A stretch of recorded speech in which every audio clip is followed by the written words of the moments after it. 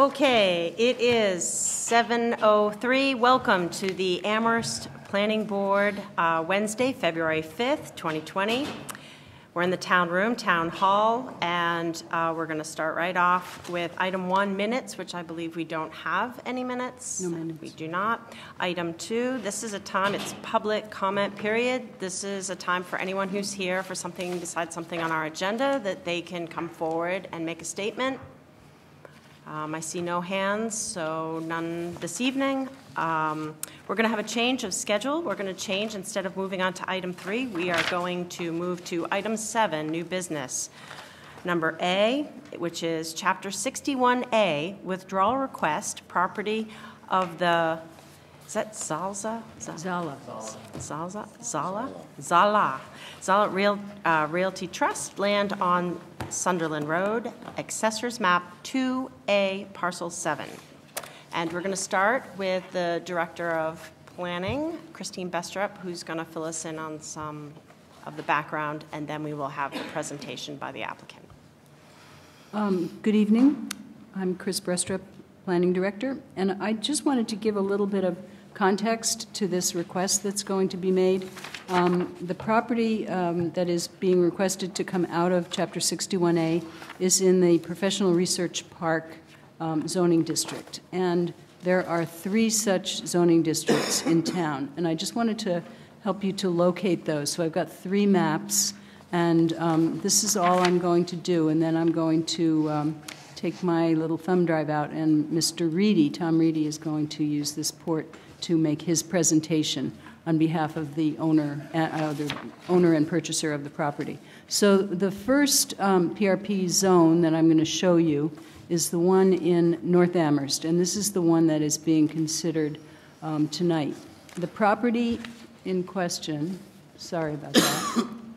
Property in question is along Sunderland Road. It's almost up at the northern end of town. It's this northernmost property in the PRP zoning district.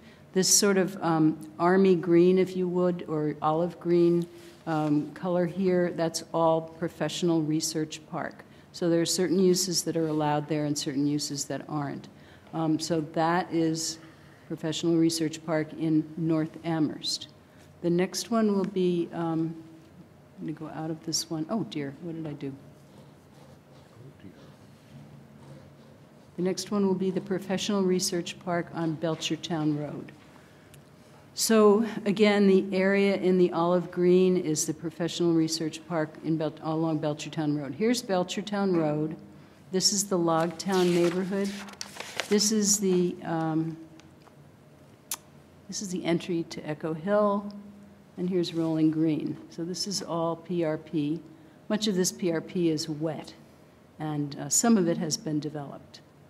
Um, The third PRP we're going to look at is, how do I get back to the uh, file? I guess this way. Okay, so the third one we're going to look at is on Northampton Road. Um, Northampton Road is Route 9, so here's Route 9. Here's University Drive, um, and here is Snell Street. So this area in here, I think this is called Holly Meadows Apartment Complex.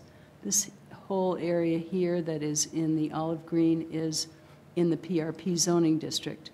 Um, Now, most of this is developed for housing currently, and housing isn't allowed in the PRP, but that was allowed back at the time when this um, development was built. So I just wanted to give you a sense that the PRP zoning districts are limited in Amherst. There really isn't much PRP.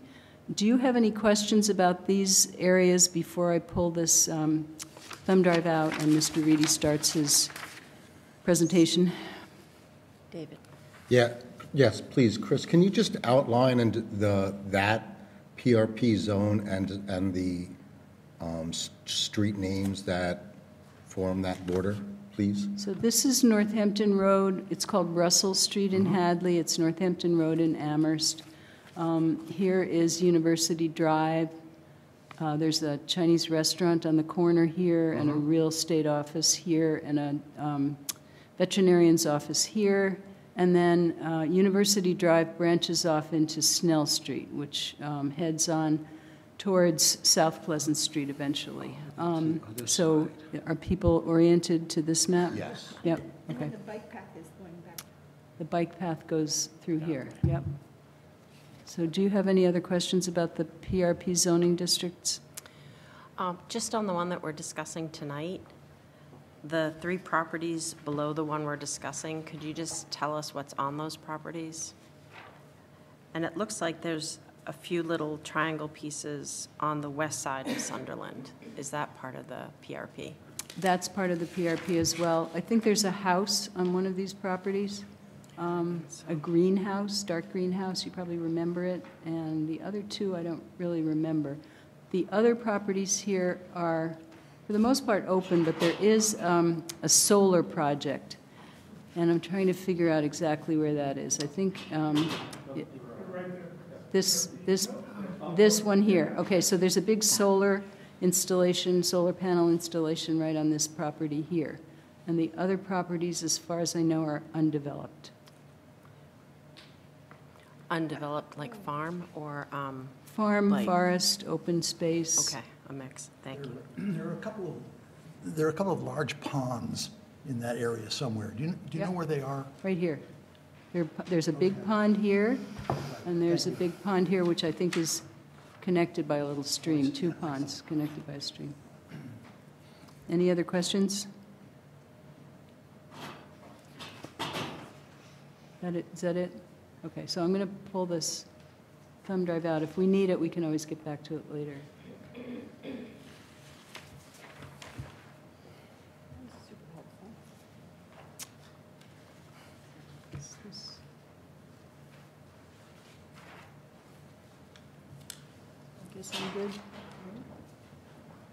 Okay, thank you.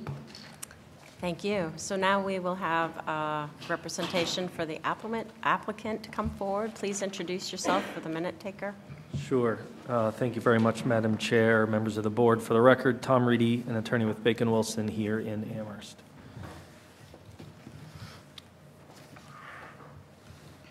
I think it might be useful just to get the GIS map up as well, Pictures are good. always.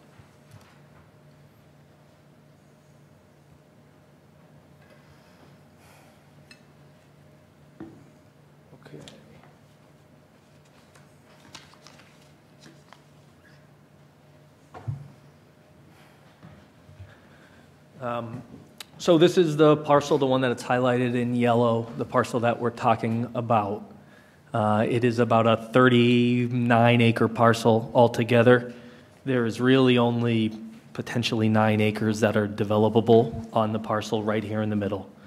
Um, I can pull up an overlay map so you, or a aerial map so you can see what it looks like. Um, This middle area right here, probably about four acres of it, I think has been farmed, or maybe five acres has been farmed. Um, In the past, I'm not sure of the crop. Uh, As far as I know from the Jala family, uh, it's called, they call it the island because everything else around it is really, really wet. And I'll show you a, we went through a uh, resource area delineation with the Conservation Commission, so I think that will show you exactly how wet that site is. Historically, and maybe a little bit more than you, you want to know, but I'll probably tell you anyways, is all of this land was connected all the way over into Hadley. Um, there's a piece of land on the other side of 116 in Hadley that the town has recently acquired. Um, it's, it's in Amherst, but it's on the other side of Sunderland Road that the town acquired that was owned by the Jala family. They owned all of this. They owned probably 200 some odd acres. Sunderland Road historically went all the way north right in front of this property. And then when the state came, I think it was in 1958, and put in 116, it, it somewhat acted as a, a dam, because if you look at some of the historical photographs of this area, um, you're not necessarily going to see the ponds the way they are now. I think I can probably get to. Oh, maybe I'm a liar. Um, so it looks like there is a pond there, but at least there, there is some developability or, or farming could occur in this area. Um, and so there, there you see pre 116 where Sunderland Road went. And so fast forward to 2004, 2005, you'll see what they had for farmland. Don't want to make you everybody sick by zooming in and out. It was really just this area right here. And then when I put this USB in, I think you'll be able to see exactly what, you know, the extent of the wetlands. So let me.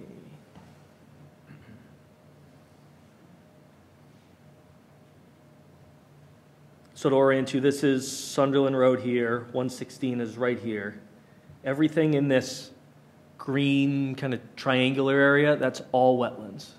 So all of this is wetlands here.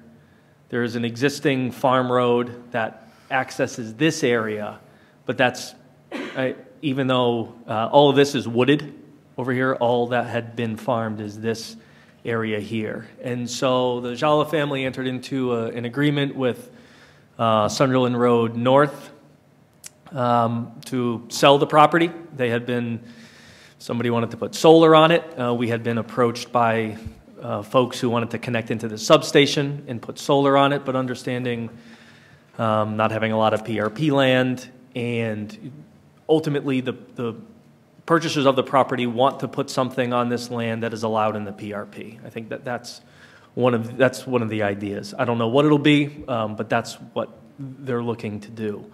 And so because we're in Chapter 61A, which as most of you know, is a tax classification that allows for lower taxes um, as a result of it being ag- agricultural use, one of the um, keys is when you look to convert it to industrial, commercial, or residential use, you have to give the town a right of first refusal. And so the town has that right of first refusal. What you do is you send notices to the planning board, the board of assessors, the conservation commission, the decision makers, so town council plus uh, the town manager in this town, and then the, the um, state forester to look at it as well.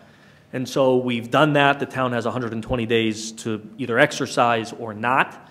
Uh, And so this is just part of the process for your review and whether or not there is a recommendation, and I don't want to steal anybody else's thunder, but a recommendation or not to that decision-making authority to waive or not uh, that right of first refusal. And so that's, that's what we're here for, and we're requesting that you waive it, um, but obviously, happy to have a discussion. So you're ready for questions? Me? Yeah, Oh, yeah. okay. Um, I see one, Maria? What are the parallel lines that run through those two green ones? Yeah, good question. Uh, It's an easement, so it's an electric easement. So you'll see that um, the substation is right here. I think they call it the Podunk substation, um, maintained by the utility company. So that's, and they have a utility easement that goes through the property. I believe there are utility high-tension wires. I think you can see uh, maybe some of the bases.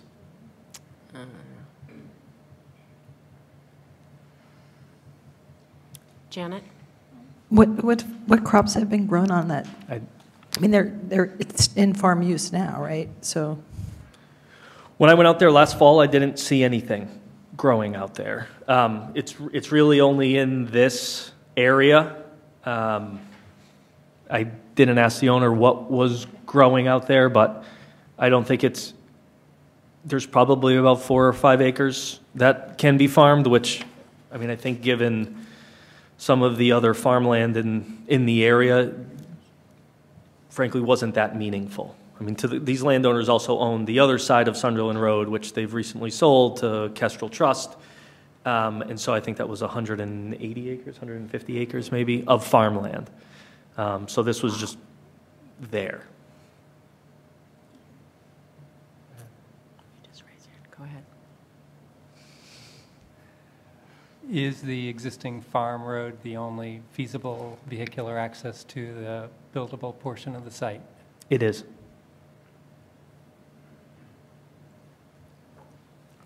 And, and following on that question, uh, if the property were to be developed, uh, that existing farm road would probably not be satisfactory for uh, continued development, so we'd have to have a wetland crossing issue and those kinds of things, correct?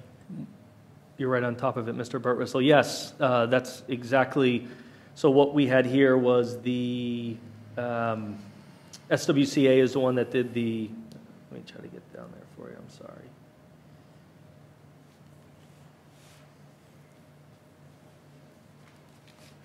SWCA did the delineation, and so the, we looked at what that impact would be to get uh, that road to a width that would be um, meaningful, so that you could actually have, you know, construction traffic and, and vehicular traffic traveling back and forth. I think that's either 26 or 28 feet, my eyes are failing me a little bit. And so the, the permanent impact would be uh, 2,800 square feet of permanent wetland disturbance.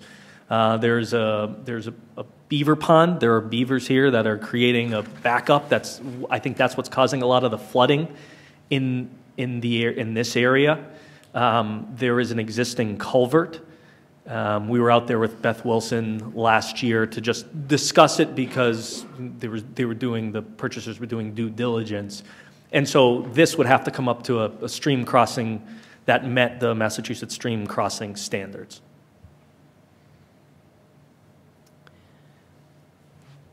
And one other question, if you could go back to the la- larger view of the property, uh, that uh, section in the uh, upper right-hand corner, that axe head up there, what, what's that, what is that? Is there anything up there that's buildable, or is that all wetland too?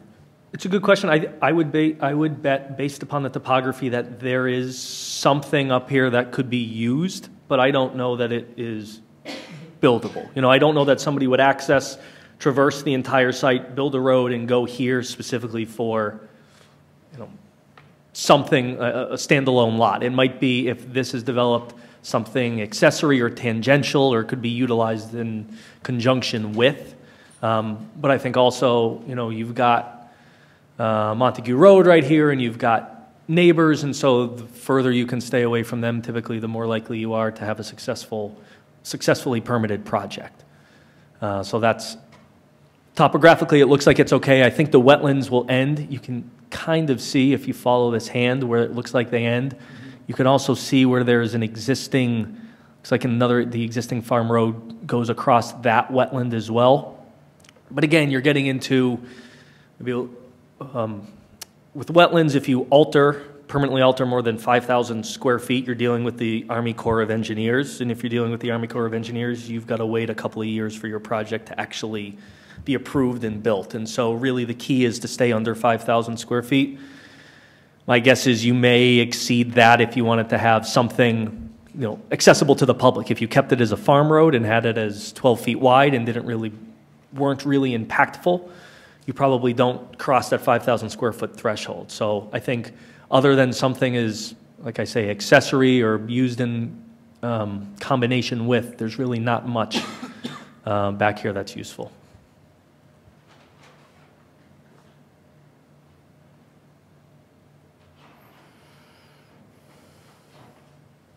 Doug? Question for Chris?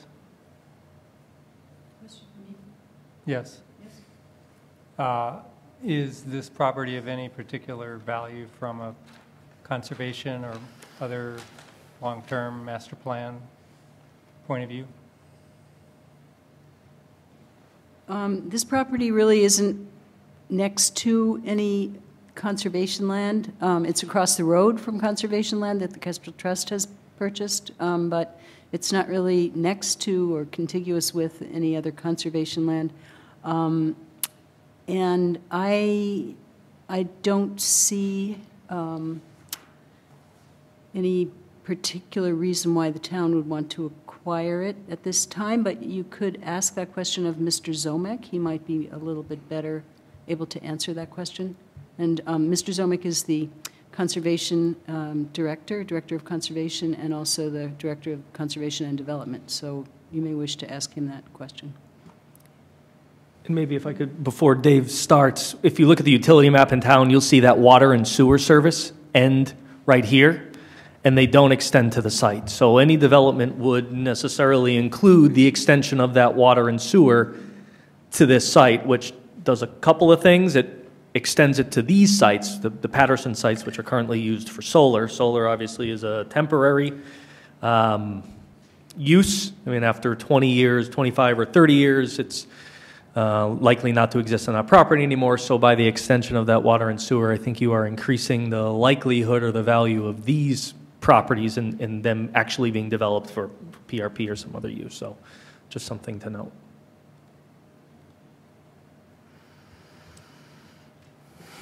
All So, yours. Thank you very much. Dave Ziomek, Director of Conservation and Development, Assistant Town Manager. And I think, I think Christine and, and Tom have covered a lot of it. Um, The question about, so just a little bit more on context, so, um, and Chris can help me out here, but um, this property has been zoned PRP probably going on 30 years or so. If you look back at various plans that the town has put forth, um, including the open space and recreation plan, of which this is probably the, I'm going to guess, the fourth or fifth um, update of the open space and recreation plan. The area um, uh, uh, east of Sunderland Road, which is all PRP in this area, has never been identified as a high priority for open space preservation. Um, Instead, what the town, through the years, has done is prioritized everything west of 116. And as Tom said earlier, um, late in 2019, the town did pick up about 23 acres of the Zala property here, which is uh, really sandwiched between Podick Conservation Area here and um, Catherine Cole Sanctuary there. I just switch this over.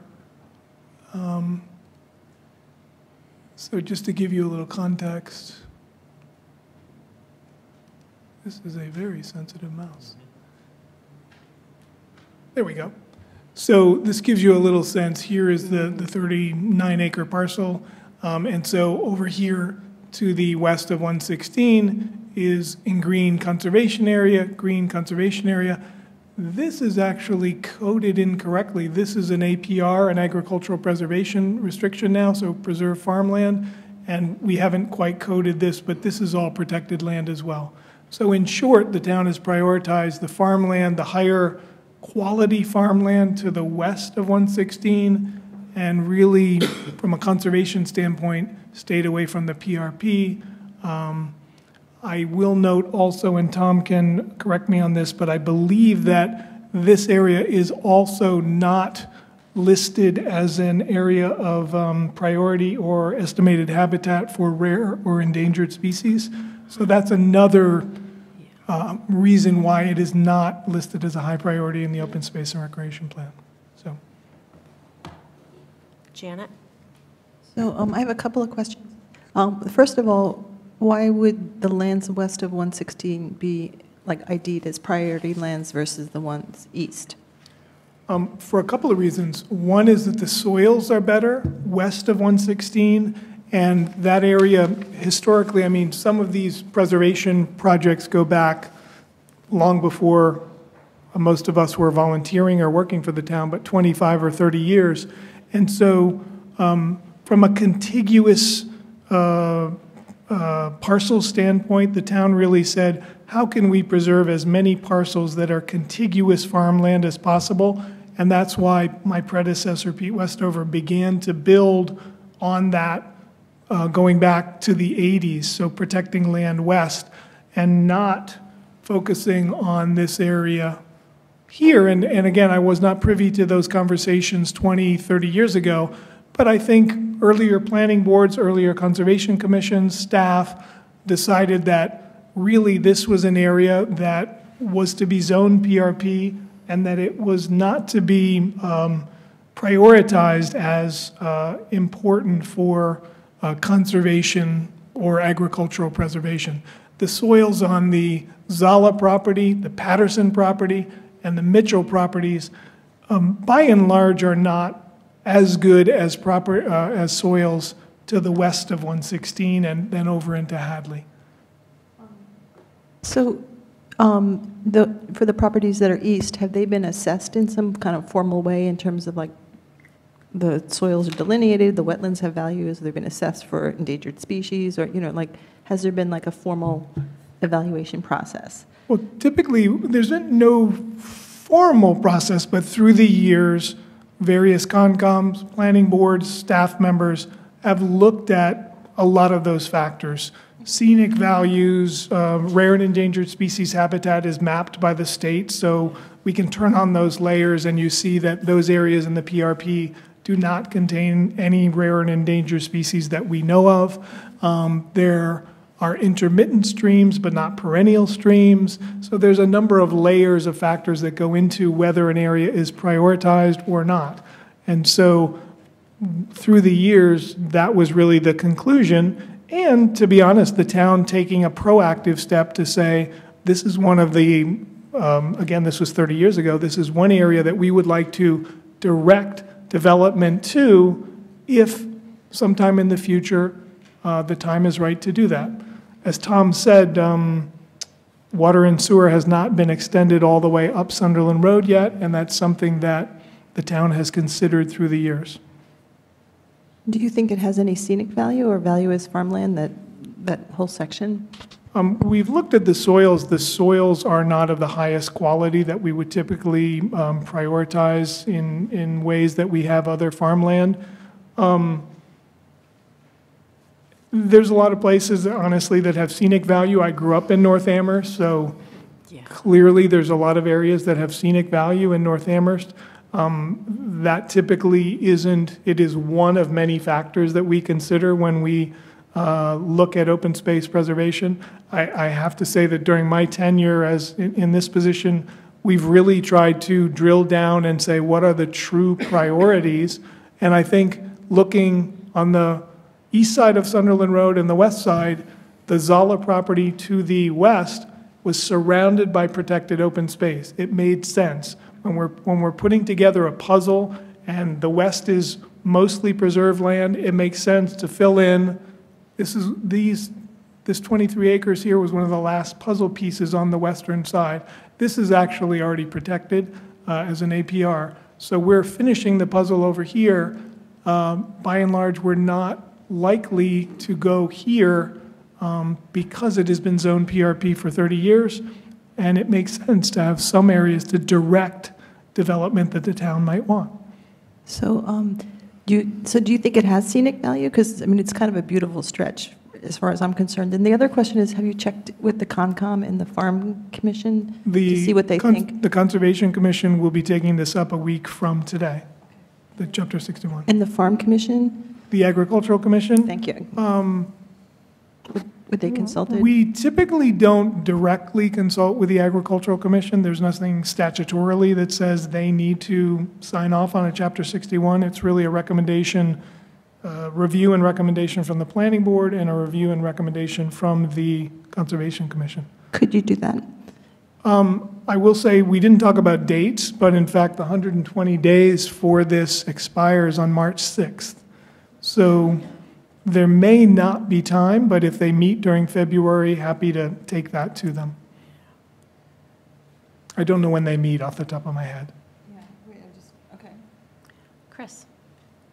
I just want to note that um, there is a purchase and sale agreement on this property, so if the town were to decide to purchase the property, um, the, the cost of it would be $400,000. So um, that would have to be appropriated. Doug? Is it true of Chapter 61 property that when it's returned to, or taken out of that category, that there's some portion of back taxes that are due? And if so, what, what what is that quantity of money?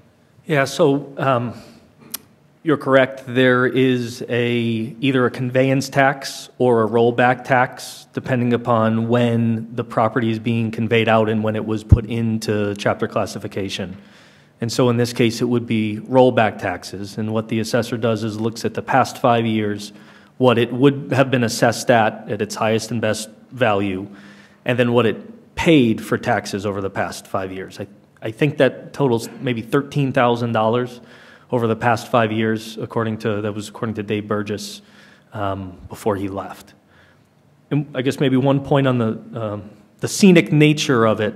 Um, if you've been out to the site, you'll see that along 116, there's a, a bunch of trees, a row of trees, and then there's wetlands and then more trees, and you're not going to be able to take down any of those trees because of their existence in the wetlands. So it's not like you can, know, if you're, if you're thinking about scenic views to the west, and I don't know if that's what you're thinking about here, um, you're not going to be able to get those. You would have to actually go internal to the site and then you would be dealing with, you know, you're surrounded by uh, wetlands, trees, uh, and a a beaver pond to the west. So just something to consider if you're thinking about the westerly views, which is a little different than, say, the Mitchell property here, which, you know, slopes topographically from the east to the west, but also has um, more views because there's less, if- if not many, trees on this side.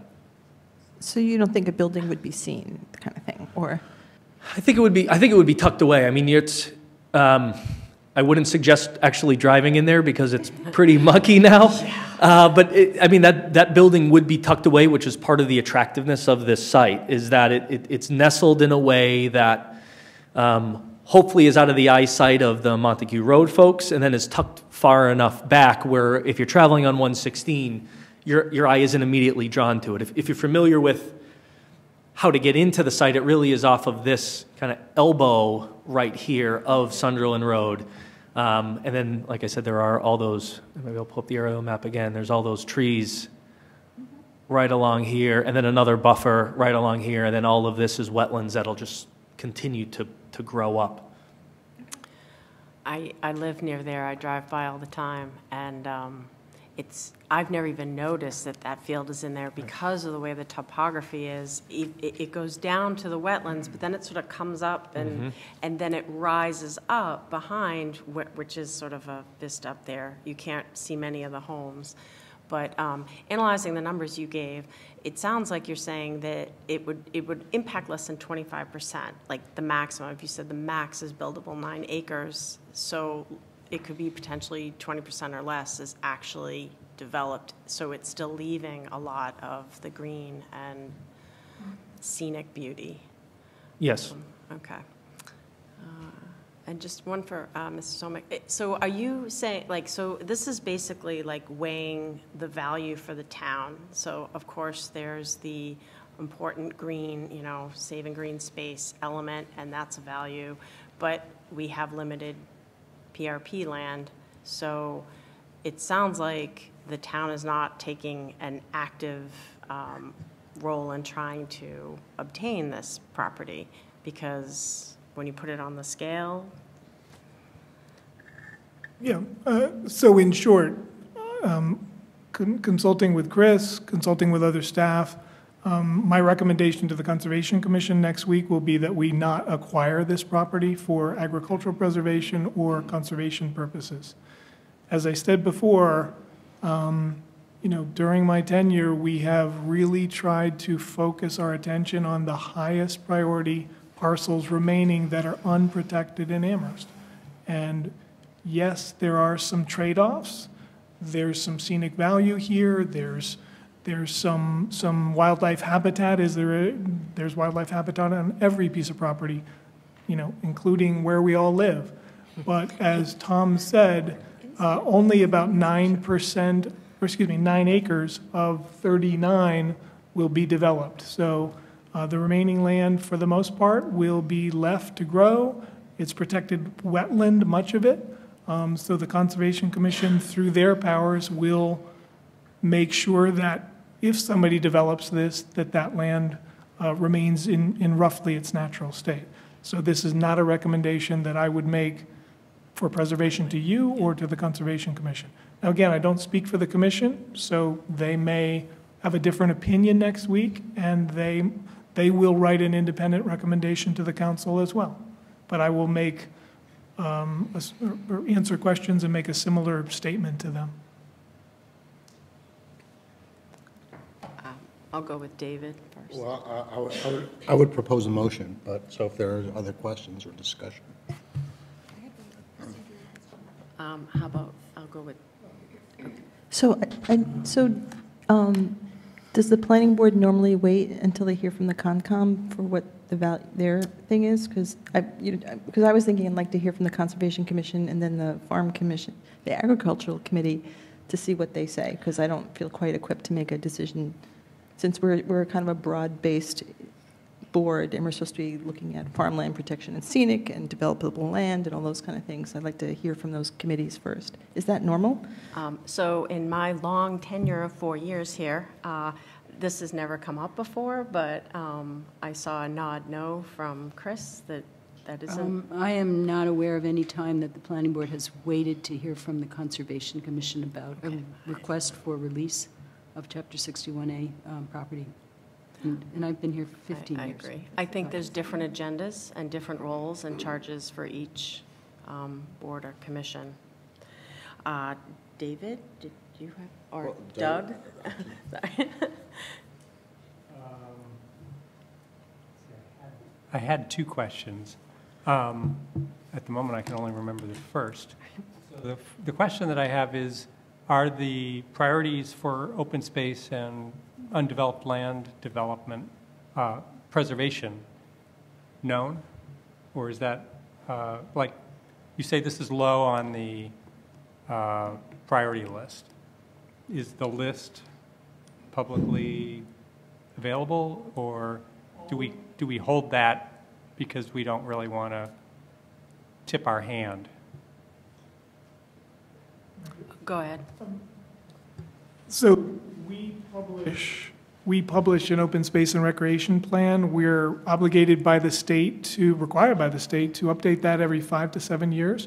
We did an update in 2017, 18. think it It's our most yeah. recent update. Um, It is online, it is available to anyone, and um, there, you will see, because I refresh my, my own memory on it, there is a very large circle uh, around that land to the west of 116, and really nothing identified in that area. So we identify uh, high-priority areas for uh, wildlife habitat, forestry, intact forests, um, um, river, river corridors, um, estimated and priority habitat, and of course, um, priority blocks of farmland, all in that document. So, Did you remember I the second? remembered the second Go for it. one, which is just sort of a process question. Uh, If we had 120 days of deliberation on this, and it's now, there's 30 days uh, before the end of that period, has the, the planning board's agenda been so busy that this wouldn't have come up before? I can definitely say yes. David?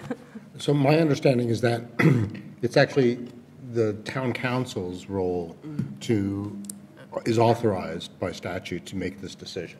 And the decision is whether to exercise the right to purchase, the, the right of first refusal, right, to purchase the property instead of the, uh, um, Mr. Reidy's client. And so it's, it's just, it's the planning board's recommendation, just like it's any of these other bodies, commissions. I'd like to make a, I would make a motion that the planning board recommend to the, the town council that it not exercise its right um, to purchase this property, that it allows this purchase to go through. Second. I hear a second. We'll have some discussion. Does anyone have some comments or questions? Um, I'll give it a minute. Uh, I don't, This is Okay. Following up on Mr. Marshall's question, so do we normally get this very early in the process, and this is coming late? Is there some, is there a process? I mean, just, so, So it came in in early November. Um, What we do is we send it off to town council, and town council evaluates it and then gets back to us and lets us know whether it has followed all the right processes to get to us, which includes various types of mailings and um, format, and it has to have all its parts and pieces. So our town attorney did get back to us and say, yes, it is in the right format. Then we had um, what did we have? A planning board meeting after Thanksgiving, I think. Or no, we had one before Thanksgiving. Before. Which was the 20th, so we probably hadn't heard by the 20th. And we had two very, um, very full um, meetings in December. yeah. Um, So far, we had one meeting in January and then a, And then- kind of a lightweight meeting in January. So this is the first meeting in February that we've had an opportunity to um, review this. And so, Do I have any other questions? I see none. Um, Should I have, do we have to have public comment on this? Okay. is there anyone here who would like to speak on this? Yeah, I don't see anyone, okay. Oh, oh, d- come, come on up, please. Thank you. And if you could please just introduce yourself for the minute taker.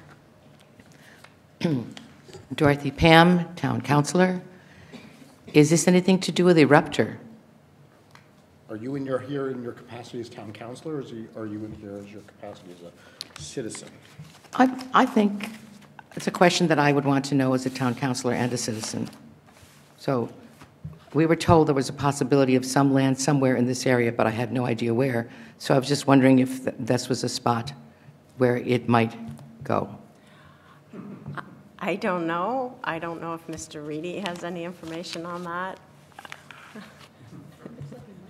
Okay. Do I go back?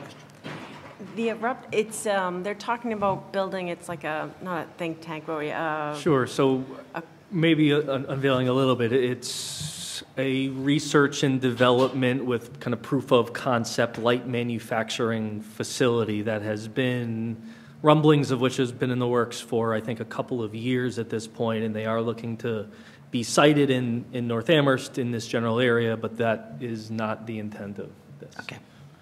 Whether it be, Thank you. what I'll say is whether it becomes it, I don't know, but that is not what the purchaser has in mind. thank you. Uh, Anyone else have a question? I see none. So um, at this point, we can take a vote um, for the motion. Do we have the motion written down?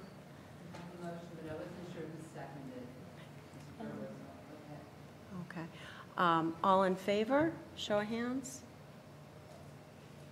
I see, um, I'm like, we're missing, uh, one, two, three, four, five. Uh, Against? And abstain? Abstain. Okay, so we have five, zero, one. Thank you so much for coming. Good luck. Thank you. And I think we see you next again. You're just going to stay Just there. gonna- I'm just Okay. going to sit right here. So we will move um, backwards on our agenda, back to item three. And I do have a preamble to read.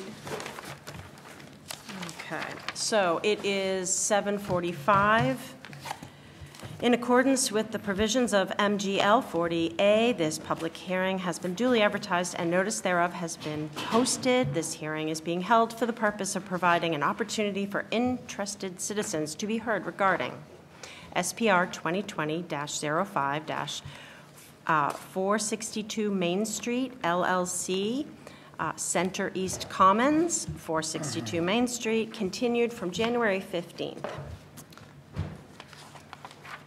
So, request uh, to modify previously issued site plan review, approval SPR 2020-01, to change the unit configuration of the mixed-use building to add more one-bedroom and studio apartments, to increase the number of units from 16 to 24, to increase the building footprint by approximately 800 square feet, um, excuse me, and the building size by a total of approximately 2,700 square feet, to adjust the location of certain site improvements, to rebuild the back section of the existing office building, and to request waivers, uh, waivers of the parking requirements, modifications requested so as to be in compliance with conditions one and seven of the decision for SPR 2020-01, BN zoning district, map 14B, parcel 68. And, uh, let's see here. So, and in opening the public hearing for SPP 2020-02-462 Main Street LLC, Center East Commons, 462 Main Street, to run concurrently with SPR 2020-05 public hearing. In accordance with the provisions of MGL 40, Chapter 40A, this public hearing has been duly advertised and notice thereof has been posted. This hearing is being held for the purpose of providing an opportunity for interested citizens to be heard regarding SPP 2020-02- 462 Main Street LLC, Center East Commons, 462 Main Street. SPP 2020-02-462 Main Street LLC, 462 Main Street, Center East Commons, request to alter, enlarge, or construct a portion of a pre-existing non-conforming structure, BN zoning district, map 14B, parcel 68. Whew, that was longer than I thought it was going to be. Okay, sorry, everyone awake? Are there any board disclosures? I see none. Uh, We are going to have a presentation by the applicant. Welcome back, if you could both introduce yourselves for the minute taker. Chris? Um, I just wanted to note that these two public hearings are running concurrently. The special permit application came in after the site plan review application, but um, they're running concurrently now, so you can discuss them both together, but you will have to make separate decisions. And separate votes, yeah. that's what- Separate votes and findings. And the whole findings. Thank you. Okay. Great. Welcome. Thank you very much, Madam Chair, members of the board. For the record, Tom Reidy, attorney with Bacon Wilson, here in Amherst, here on behalf of 462 Main, and with me this evening is the manager and member of 462 Main, John Robleski. Uh, So last we were here, um, a little shy of a month ago, January 15th, uh, We had a, I thought it was a very productive discussion. We went away with some homework, and now we're back, hopefully, to provide you with the results of, of that homework. I think you should have in your packet um, the letter from Jason Skeels. I think you also have a, a clean letter, I would say, from Jason Skeels, a, a clean letter from the fire department relative to the propane tanks. Uh, You have an updated management plan, an updated additional information to the management plan, and then you have a parking management plan as well. Um, And I think what we would like to do this evening is talk through the special permit piece of it, um, and really just explain what we're asking for here, and I, we would suggest that it's more of a technicality than anything else, and that you can make the finding.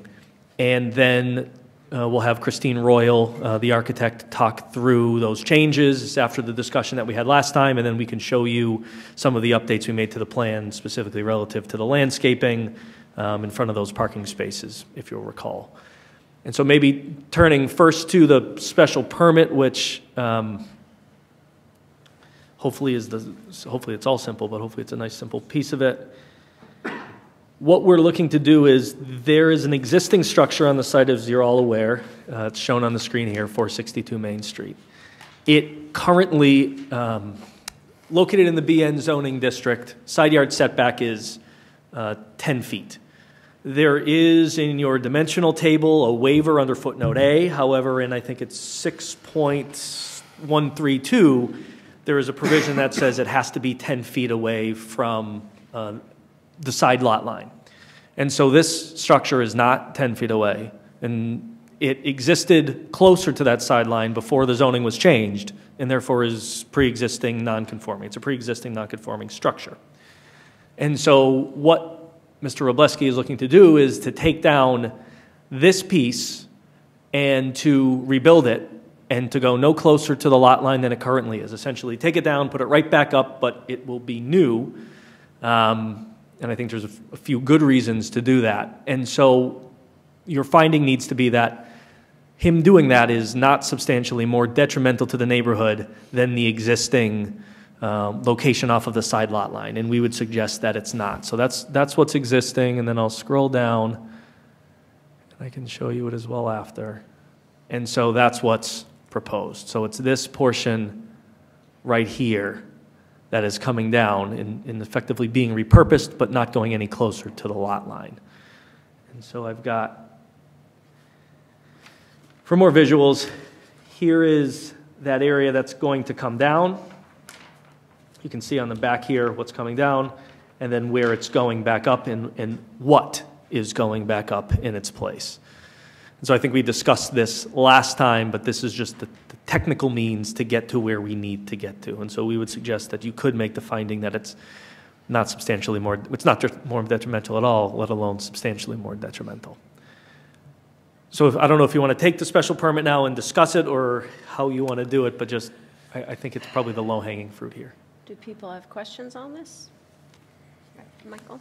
I do. Um, What does the, uh, addi- uh, the repurposed addition, whatever we want to call that little section, look like from the side of the abutters? Um, Are there any windows on that backside, John? There is one window there. And there will, conti- will it look the same as it does now? It will. The only difference is, um, as you can see in the existing photo there, where that trailer is parked, um, if you remember, people that went out to the site visit, that portion of the building is just set on stone and loose brick, and that's why it sagged that much. So it'll be rebuilt in that same spot with one window on the back. So yes, from looking at the abutter side, it's not going to look any different, other than the extension of the roof for the bike cover. Which will also be closer to the lot line Well- than is currently allowed. That, where the bike cover is actually, it's, it's going to be pretty close to the 10 feet. The front of the exist, front of the existing house is 4.9 feet, almost 5 feet, and the south end of the house mm-hmm. is, you go back to the previous map, right there, and then the back, the back corner is nine and a half feet, so nine feet, six inches. So the farther it goes back, those lines spread, so it's pretty close to the 10 feet at that point. But it's, it's, it's parallel with this, that side of the building. Correct. Right, But not parallel to the property line, is what you're saying? right. So, so that covered bike shelter, if, where it begins is 9.5, I see what you're saying. By the time you get to the northern edge of it, you're at Yeah, 10 it's feet. So gonna be it's a nine. little triangle, you're saying, a a sliver of that covered bike shelter is in this, within the 10-foot buffer. Uh, Maria?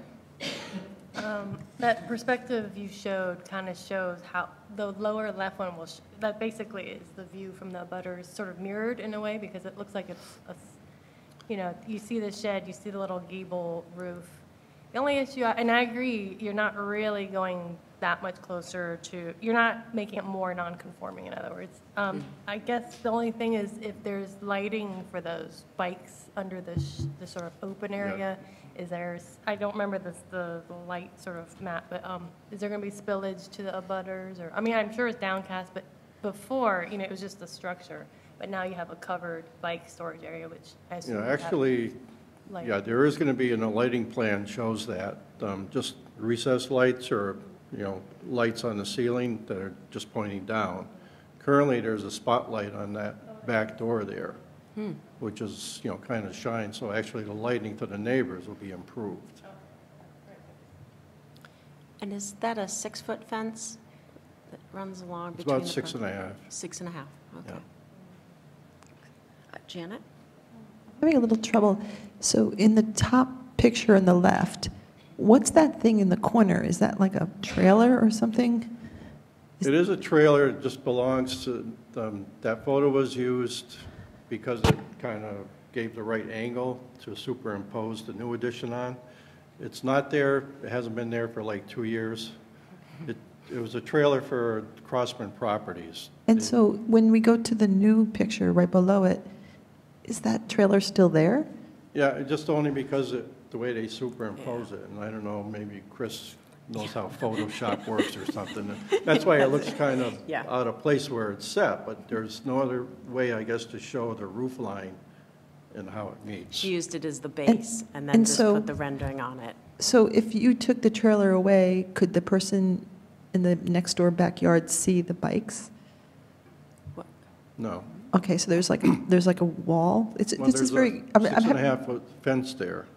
Okay. That's the And then the other question I have, just partly for the visual confusion, is, does the, um, so there's a roof line for the little, little house, and then in- for the bike shelter, it doesn't go, the build, it's not any long, bigger than it is now? No, it follows the same roof line at the new, the new structure will. The only difference is the new structure is going to be a little bit higher, like a foot and a half higher, because those walls on the existing, I can stand and my forehead touches that gutter in the front there, so. So it's, it's Just- not any bigger in terms of a roof, or, okay. It's- Correct. It's just Yeah, a little it'll have hard, a to- proper it's hard to see. foundation And stuff. Any other Good. questions on this part? I see none. Um, you want to move to the SPR?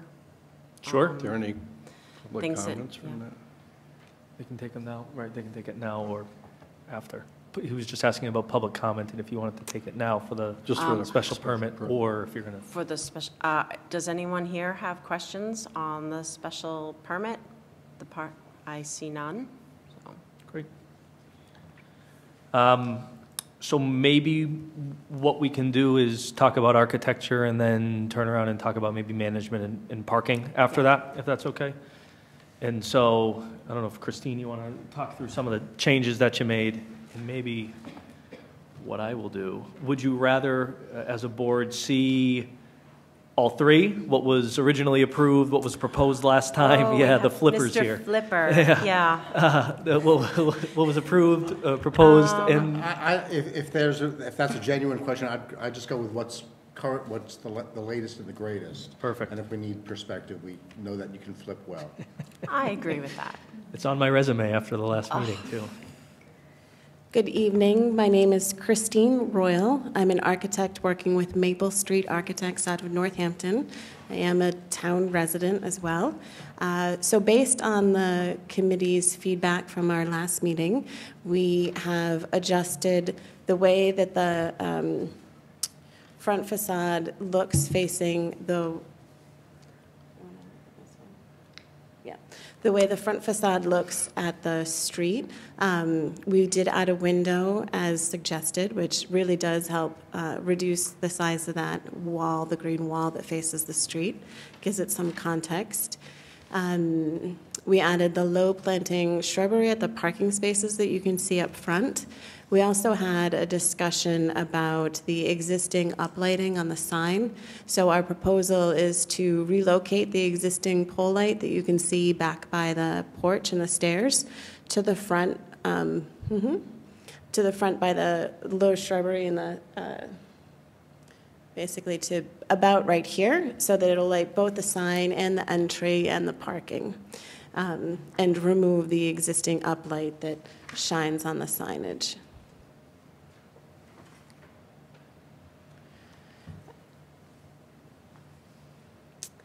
There was also discussion about the bracket detailing on the existing building. And while it's not shown in this rendering, we have gone through and, and pulled some bracket detailing and reviewed it with uh, the owner to, um, to use as detailing on the wood trim porch of the new proposed, which would be here. Oh, yes. Um, And then you also were wondering about the, the mullion details on the windows, which we've included in the rendering, which was the intention originally, but um, as you had noted, wasn't really uh, visually represented in this.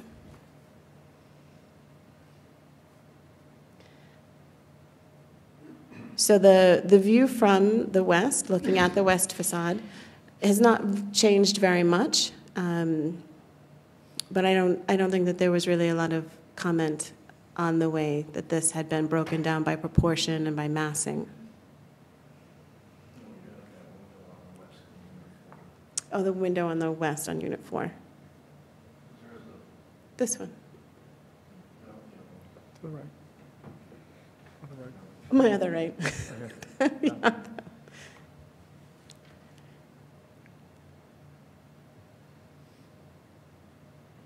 And I think some of the comment was, previously, there was nothing here, and it was just a lot of massing, and so there's obviously the addition of that window.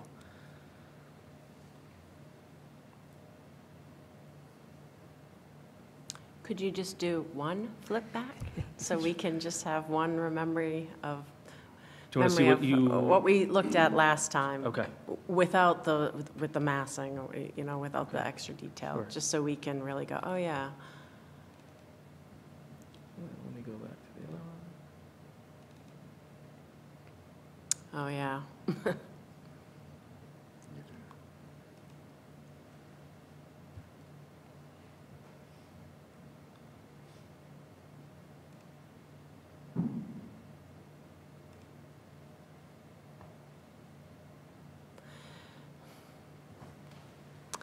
Now, did you um, change the windows? I think there were bathroom windows in the back. They still, you know, small, but they look more robust. Did you put wider trim on them or something? I think when we went through and defined uh, the mullion details on those front bottom windows, I need to switch. When we redefined these and the rendering, we did the same thing to redefine these as discussed. Yeah, they pop a little more. Mhm. So should I open, are you ready for questions? Um, Does the board have any questions on this um, new rendering? Maria?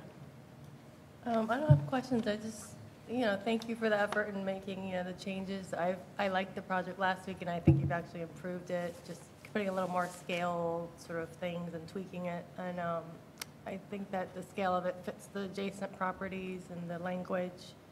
Um, so, but yeah, thank you for, you know, making that extra effort with the changes. It's not really a question. Thank you. We appreciate the dialogue and the feedback that we've received. Any other questions or comments on this part? All right, Uh, Michael? I'll have to echo Maria's. Uh, I think it looks much better. Uh, It's amazing what one little change can make, uh, So from true. my point of view, anyway.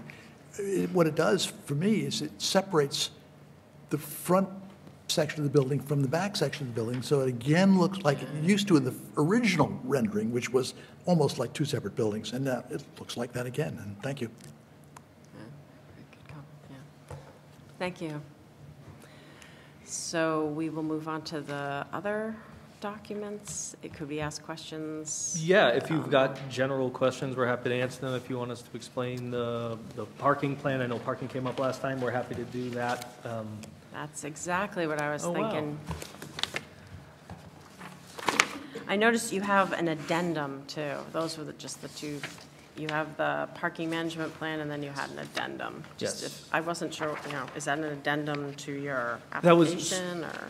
No, it, it's uh, an addendum to the management plan, so what the bylaw requires is some additional information, and so the last time we had the previous number of units, the, the total number of dwelling units, and now that has changed, so, and the same thing with the number of bedrooms, so Ms. Brestrup suggested that and recommended that we update that to reflect what's actually in front of you. So that's all we've done is, is to update that. Okay. Um, Are there any questions from the board on um, any of this additional information provided? um, Parking spaces or the management plan? Hmm, I, s- is that a hand up? Okay. I'll go with Michael and then Janet. I I still um, am concerned about the parking spaces, the number of them. Um, And first of all, um, the, um, gotta find my notes here, excuse, forgive me. Um,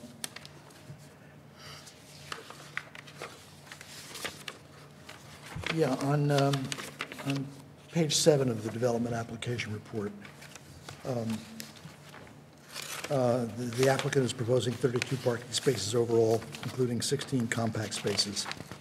Um, As I read the the zoning bylaw, um, it says 50% of the, uh, of the standard parking spaces can be um, of, of, of, um, of for compact spaces. But that's, um, if you take 50% of uh, 29 parking spaces, sorry, um, where am I, got to get my math correct here. Um, There, are- there are not 16 uh, full parking spaces if you don't, if you take out the um, handicap spaces. Am I, am I correct in that? There are altogether 32 spaces. Correct, so, y- And yes, if you, if 16 you of them- subtract the ADA compliant spaces, which I But those, frankly, those are not standard parking spaces. I've never I don't think. Right. I I mean, I think we have interpreted it as, and, and previous projects have interpreted it as if there's a different interpretation. Um, It's, it's somewhat news to me that the, the standard parking spaces are inclusive of the ADA spaces because they are standard, standard ADA, but they are still standard. It is not that, I think the distinction is standard and compact, not necessarily standard, standard ADA and, and compact. And so the ADA spaces are considered standard. With 32 total standard spaces, half of those would be the 16, which were at that 50% threshold. Well, that's one way of reading the, the bylaw. I'm not sure that's the only way or the correct way.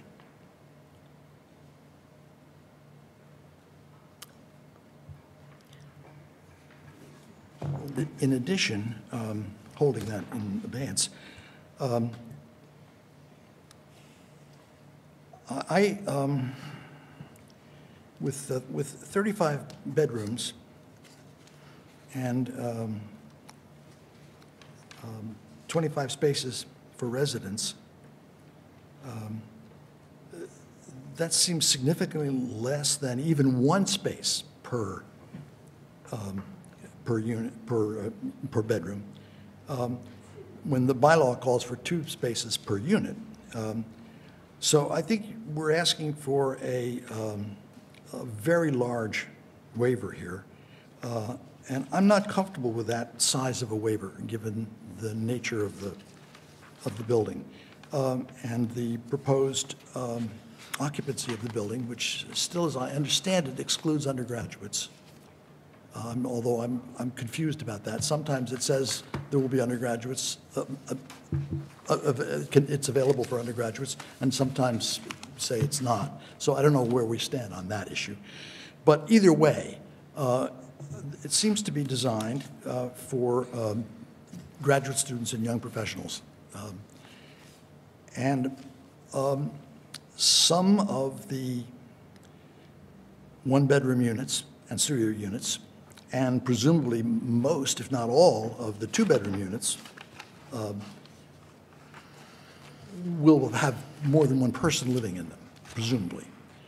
And um, the likelihood of, of more than one person living in a, in a, a unit having only one car is, you know, it's likely that that will happen. It's also likely that it may not happen in certain, certain instances.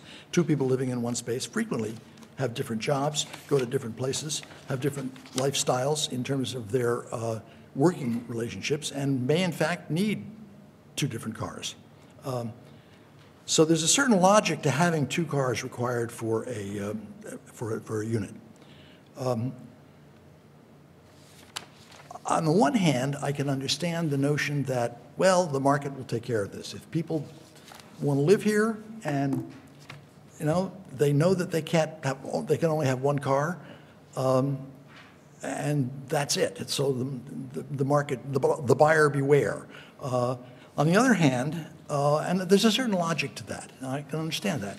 But on the other hand, it's uh, part of the board's responsibility, it seems to me, to uh, protect potential tenants uh, and to provide them with reasonable facilities, to ensure that they have reasonable facilities uh, at their disposal. Um, And I am, I question whether uh, less than one parking space per unit, per, sorry, per bedroom, is a reasonable provision of parking under the under the conditions that uh, exist in that particular part of town. Uh, I understand there's a good bus service there, and I understand you're providing uh, bicycle uh, facilities, and, uh, and uh, many of your residents will take advantage of those. On the other hand, Amherst is still a town and it's not a city. The buses don't go everywhere. You know, the bike will go everywhere if, if you have enough time and energy to ride it anywhere. Uh, But uh, buses and bikes and walking uh, are important in this area, but they are not uh, the end-all. Uh, And unfortunately for us, in this day and age, maybe not 20 years from now, but now, uh, we are in an area, an era and an area where the automobile is important uh, to most people.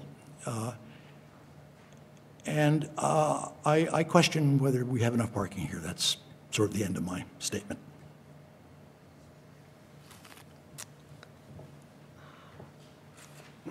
Janet, did you have a question?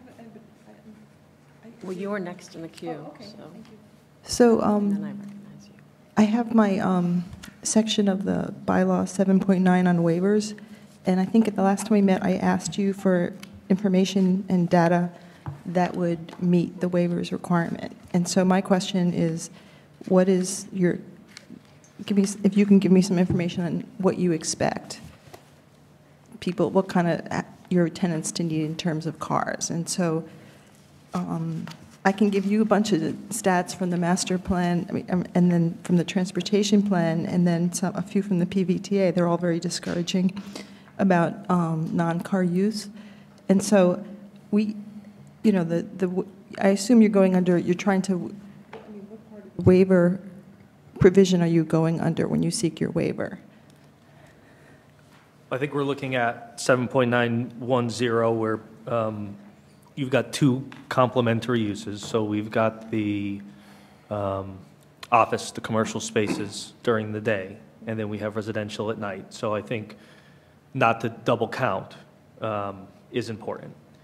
And then we're also providing a, a parking management plan. And, and so when you ask, what do we think we need, I think what Mr. Robleski is providing is, is what he thinks he needs, and it's, it is based upon what he's seen at his Spruce Ridge project, what he's seen um, at 70 University Drive um, in, in that project, and also looking at just parking utilization, and, and typically what you're seeing is about, and I think John's got some data, he went out, I think this morning at 4:30 to, to take a look at a bunch of different um, housing projects in the surrounding area and to count the number of cars. And, and he's come up with, similar to what you find out of Boston or Cambridge or, or Arlington, that there's a, a 36%, I think is the number, um, non-utilization rate. So, or put another way, a 64% utilization rate. And when we're looking at what John's providing here, I think the market does help dictate.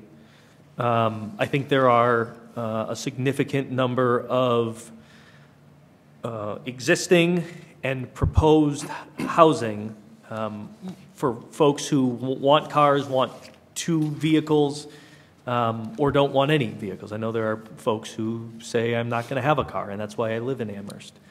Um, and if you look at the, the, the bed to parking space ratio, you're at 71%. So that's even above what the utilization rate is, and that's building in, you know, the ADA spaces, the EV spaces, and um, I think you've got the guest parking as well. And so I think from, not to speak for John, but to speak for John, from his perspective, he's, he's got sufficient parking and I think pr- appropriately managed. Because I think to a certain extent, I don't respectfully know if it is the planning board's job to look out for the tenants. I think there is a tenant obligation to look. I think if you're looking out for someone, it's probably for the neighbors or the neighborhood to make sure that folks aren't sneaking cars on and parking in the street or parking somewhere where they're not supposed to. And then you've got a hazard for pedestrians and abutters and all, and all of that. And so I think that comes down to management of it and appropriate management to make sure that folks aren't parking where they're not supposed to.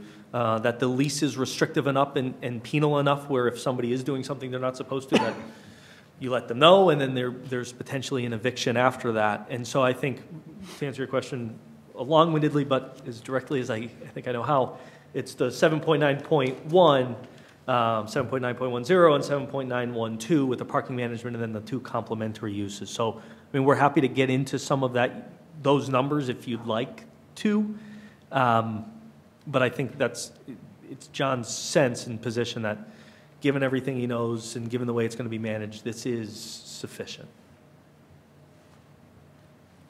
So you have data, so, um, and it's based on one morning, going around to different. um, Yeah, I, I went this morning at 4:30 in the morning and drove around, you know, kind of the perimeter of where Center East Commons will be. And, you know, I'm familiar with what's here as far as other apartments and so forth. So, yeah, I mean, 13 and 15 High Street is right across the tracks. Um, Six new units were built there probably four or five years ago. So they have 16 spaces there, but they're not marked out, it's gravel parking. Um, There was eight cars parked there, so that's 50% utilization. Um, My property at 22 High Street, I got 34 spaces, and there was 20 cars parked there about 4:30 this morning.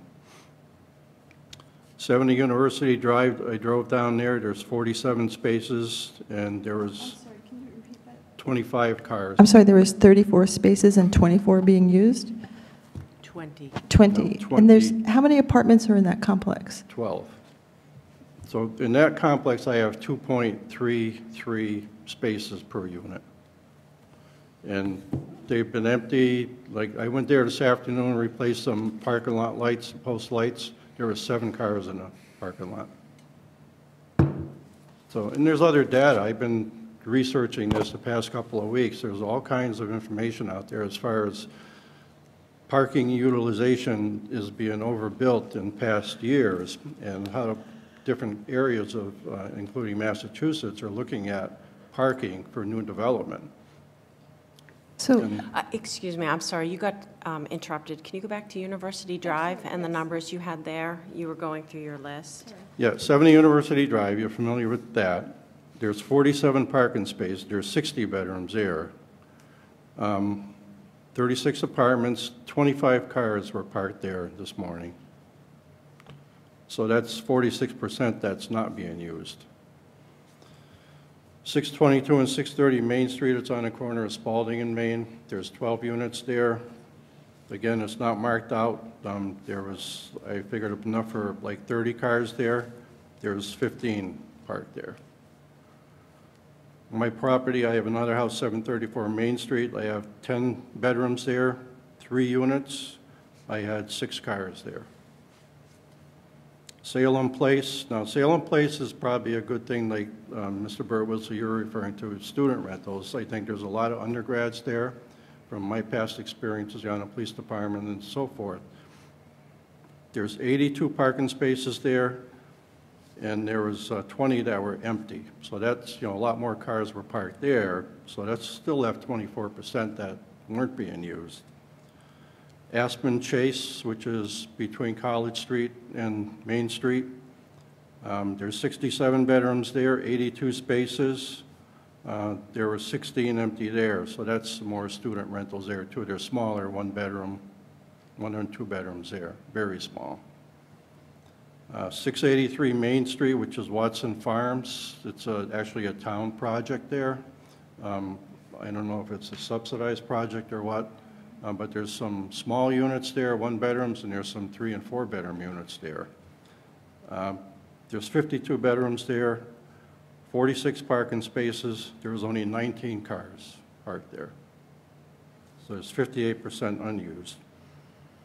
The end of Spalding Street, there's um, eight condos, or they're basically rental units there, 24 spaces, they had 14 cars.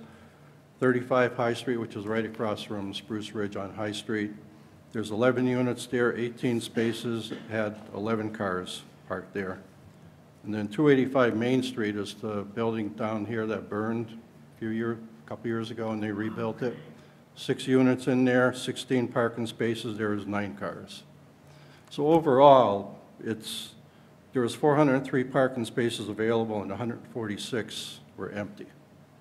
And this goes with a lot of data that I've been reading. Boston did a a 20, surrounding Metro Boston, they did 20 communities there, and they found 36% of parking spaces in condos and multifamilies were going unused.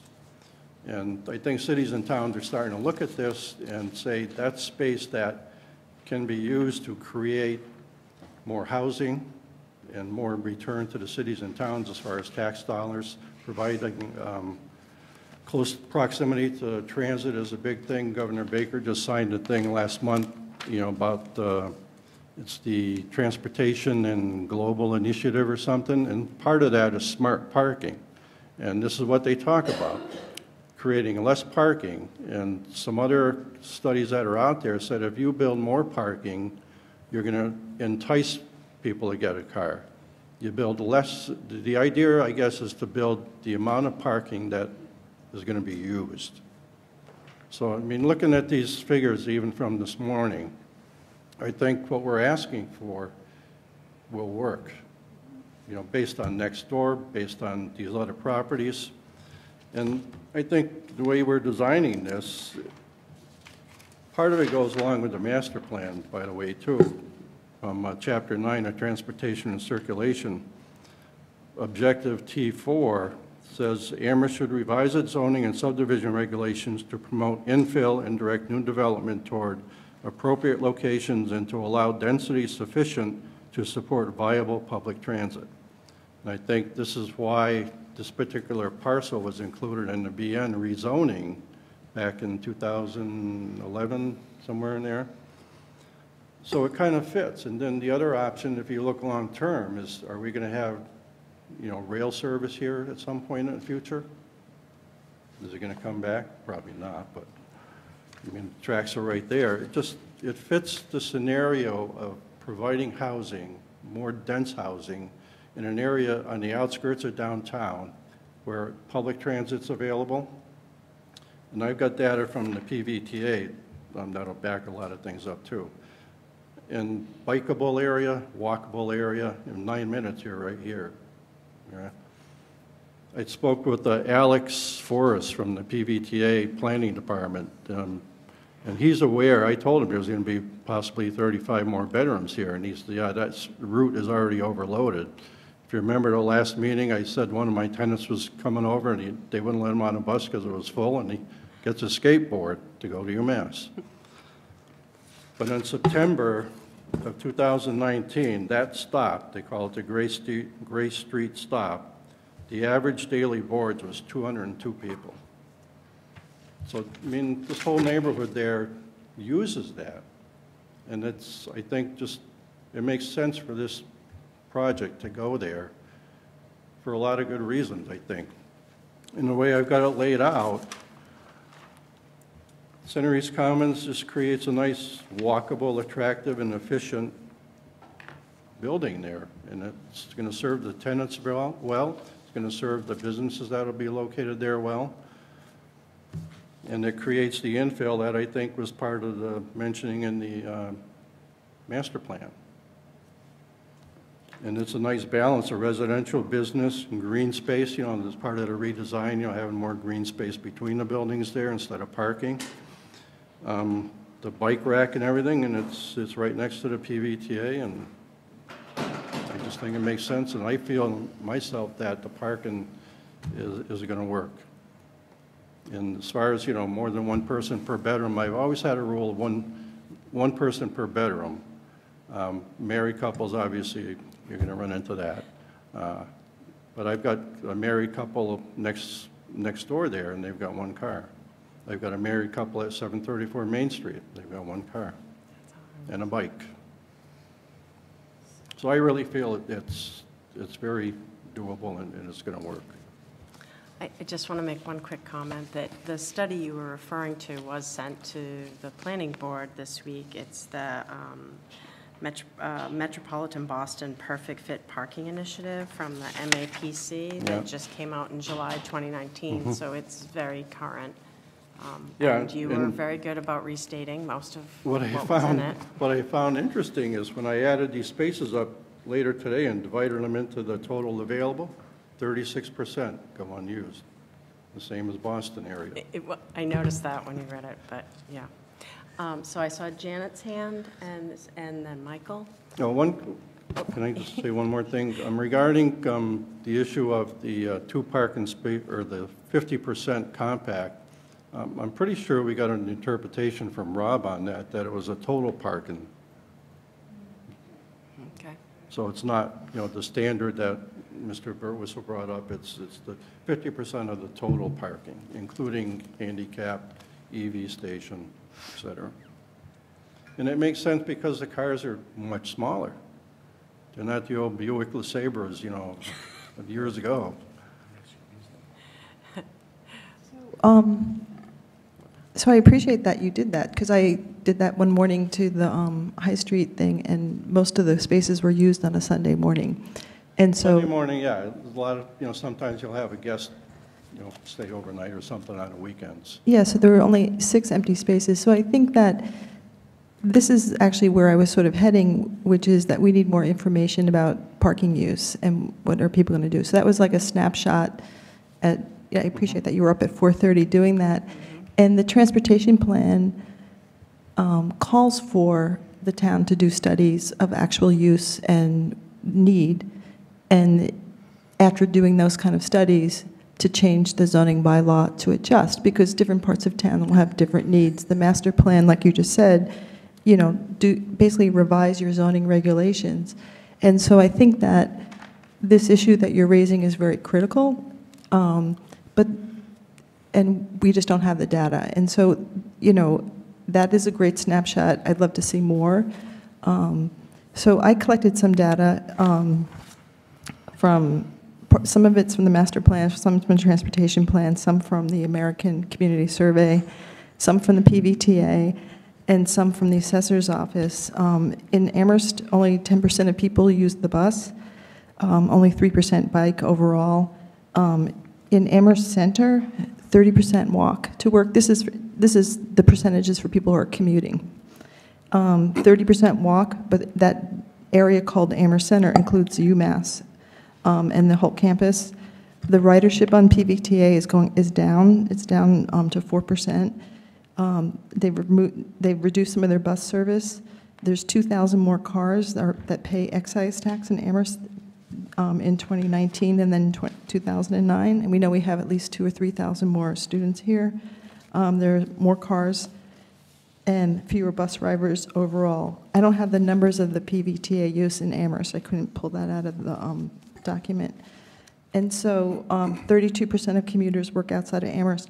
There's not a lot of information about individuals' car use, because I think this is a really hard place to live without a car. And most people I know um, who, in families or couples, have two cars at least.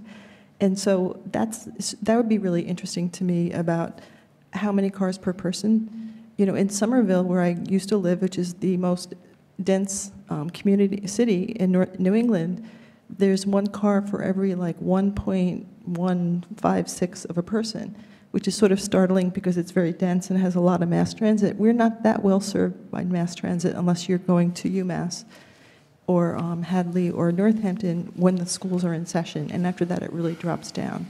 And so I think that um, I would, I want, I'm- I I want to, I would love information on the waiver, like, these are not going to be undergraduate students that you're keeping out, they're going to be grad students, they're going to be adults, they're going to be people with jobs.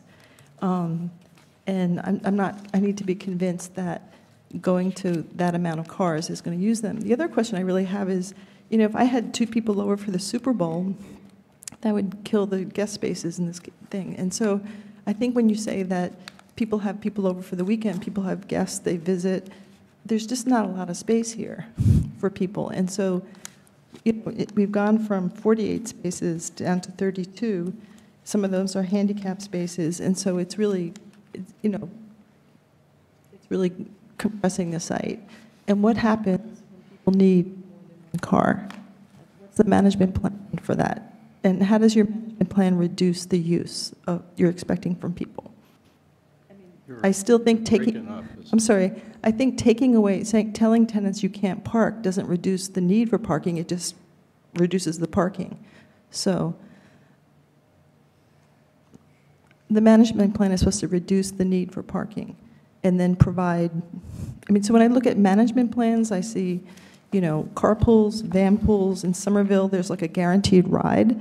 So if you need a ride, you get a guaranteed ride. There's ways of helping people who need a car, how to get there some other way. So that's, Well, that's, you know, part of, you know, a lot of the data that you can look up, um, that's what they're saying, you know, the millennial groups, age 16 to 34, because of Uber and Lyft and everything else, and the cost of owning a car, uh, they're just not doing it. They're not buying houses, they're not buying cars. Um, That's a new generation, and I think that's where we're looking, you know, to provide housing for, to a certain extent anyway. And it's not all, you know, I don't know what the mix is going to be. I mean, that's our hope, you know, as far as tenants, but um, in a new management plan, I say well-qualified undergraduates. So it's, it's a way you manage a property, to be straightforward about it. Um, And I've always been pretty tight on managing and towing cars if I need to. But I've never run into that problem, to be honest.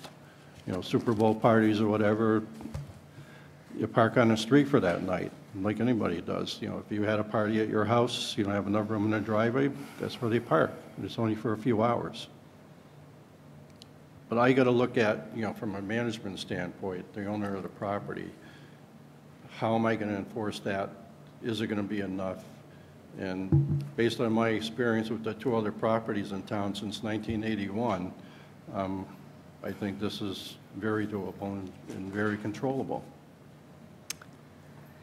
Any other questions?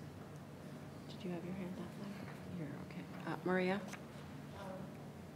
So we keep saying we need a lot of data, a lot of data, and I don't think this project is the project to solve our distance between what's in our zoning bylaw for parking and what this project is providing. I think we should look at this project through the lens of site plan review and what this owner has done with the space that um, they had available. They very respectfully scaled the project to the neighborhood. You can see from the site plan, they maybe can add one or more spaces, but then they'd lose the green space. So based on the space they have at the site, um, the number of actual beds is 35 beds, and there's 32 spaces. So again, right, some of those spaces are handicapped or electric charging spaces. So it's not too far off, and I really appreciate the data you collected. That was really eye-opening, and I hope that was all captured in the minutes, because I'd love to keep that data.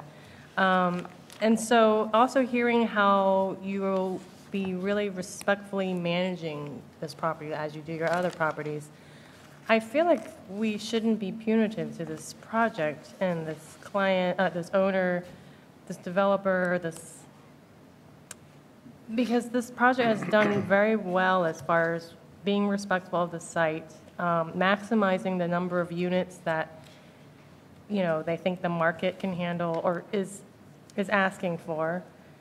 And space in these high-density areas near downtown is so valuable. To give that space to a car seems so backwards to me. But again, that's a bigger discussion. We, we should be looking at this project for itself, what it's providing, and based on what it is providing as far as the number of housing, the amount of uh, office space, and the parking, they're not, it's not like there's this huge reach of a, you know, greedy sort of, I'm going to put 200 units and provide eight spaces. You know, it's pretty close. And I think to have the parking be the reason this project doesn't go forward is a real shame. Um, I think it's going to bring a lot to this area.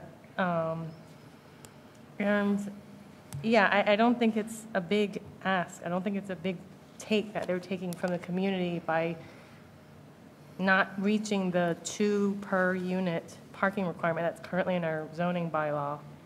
And I think we should just focus on this project and not about the bigger issues of what ifs, you know, what if this person has one car or two cars, or what if, you know, I think just looking at this project, it's done very well for the space it has and for giving a good balance between residents, office users, and parking. So I guess I just, I would, I would hate to see this project go under because of a bigger discussion where we've been constantly having on many projects about parking count. So, um, yeah, that's my two cents.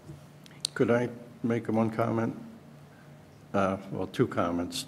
You know, this, if you look at the project you approved um, last July, the number of bedrooms is 16.6% more. So it's not all that much more as far as the bedroom count. Um, I forgot what the other point I was going to make. It'll come to me. Doug? I just wanted to confirm, it's my understanding I am not voting on this because I was not part of the earlier hearing. I was going to bring that up next, that um, I was going to finish with the questions on this, but then remind everyone that if we are going to take a vote on this, that Both the SP and the SPR need five votes to, um, for a supermajority of seven members of the planning board. We have one member that is sick today, and we have a new member, which I was going to introduce you at the end, but we have Doug here, and due to uh, the way it works, um, it has been decided um, that he is unable to vote today, so there's only, yes, so there's only five of us here, and we will need a unanimous vote. So um, we need to come to some kind of um, agreement on the parking, uh, because that seems to be the issue. Uh, I just want to put, I'm, I, I'm, know a lot about parking, probably too much. Um, But I just wanted to bring up one other element that hadn't come up, that, you know, transportation is, is quickly evolving and preferences are changing. The data shows that. That's what these parking studies are showing, that the generations that are behind us are changing their driving habits. And um, a lot of that has to do with climate change. And Amherst is a place that really believes in sustainability and green issues. And this is one way maybe we can justify why we would okay a project like this. Um, today in the Gazette, Senator Hinds had an editorial uh, about you know the green initiatives that are being um, taken up uh, by Governor Baker. And there was just one stat. It said Massachusetts has 5 million cars and light trucks, and they contribute to 40% of our carbon emissions every day. So if nothing else, I know as a parking semi-professional that this ratio is okay. You build your parking for it to be 80 to 90%. You don't build it to be 30 or 40 and for event parking. That's not what you do. So you want to find that, that sweet spot. And do we know if this is the sweet spot? We do not. But I'm willing to take a risk because this building is being built for more than a 30-year lifespan. And I know that five years from now, we will be 100% sure on this sweet spot. And as we have looked at the studies, the number is far below one. I mean, that, that 18 municipalities they looked at, the number ended up being closer to 0.55. So that's my two cents. David? Um, I'm, well, I'm sympathetic to the request for the waiver of the parking requirements. The study that, that a number of people have cited and that you cited to Mr. Roblowski um, did tie sort of the reduced parking with also sort of an increased opportunity for affordable housing. And, and it seems that this is an opportunity here for, to, you know, one way to, um, I think, perhaps persuade, be more, present a, a, a more persuasive case, perhaps, for the reduced parking, is that according to the, again, the Metro Boston Perfect Fit Parking Initiative, providing affordable units reduces the demand for parking even more in the, according to the study, and intuitively, that makes sense to me. Um, And because of the location of it, this site seems like it's an opportunity. Would that be something that you would be willing to consider? Um, Would, would- yeah, would that be something you'd be willing to consider? I'm not sure. I'm not really familiar. I've heard stories about if you do provide an affordable unit, that the town manages it or something. And I guess it would be, have, have to be something I would look at or want more information on. Um, I'm, I'm really not familiar with dealing with that. I know, I know how to deal with my properties and. Sure. Well, it does involve a process. Maybe Chris can elaborate on that, um, what it entails, like the monitoring, yeah, support. So I think Mr. Reidy is probably a really good um, resource for this right now because he has a client who recently um, built a building on University Drive, and he included four affordable units there, and he's building another building on University Drive and including, I believe, five affordable units. But in any event, it requires, um, it's a, it's a fairly complicated process. You have to unless you're very well schooled at it, you need to hire somebody to help you, hire somebody to um, do a lottery to choose tenants. Um, And then once the tenants are chosen, you have to sort of monitor their um, eligibility to remain where they are. um, and you have to, um, you know, do reporting, and um, you have to put your property um, under a deed restriction in order to um, make sure that those units are maintained as affordable. So, you know, there is, there is some more to it than um, just charging lower rents. And maybe just to buttress that a little bit, and what Chris mentioned with the deed restriction, so there's a regulatory agreement that is required to be signed to qualify the unit or the units on what's called the subsidized housing inventory, which is monitored and managed by the Department of Housing and Community Development.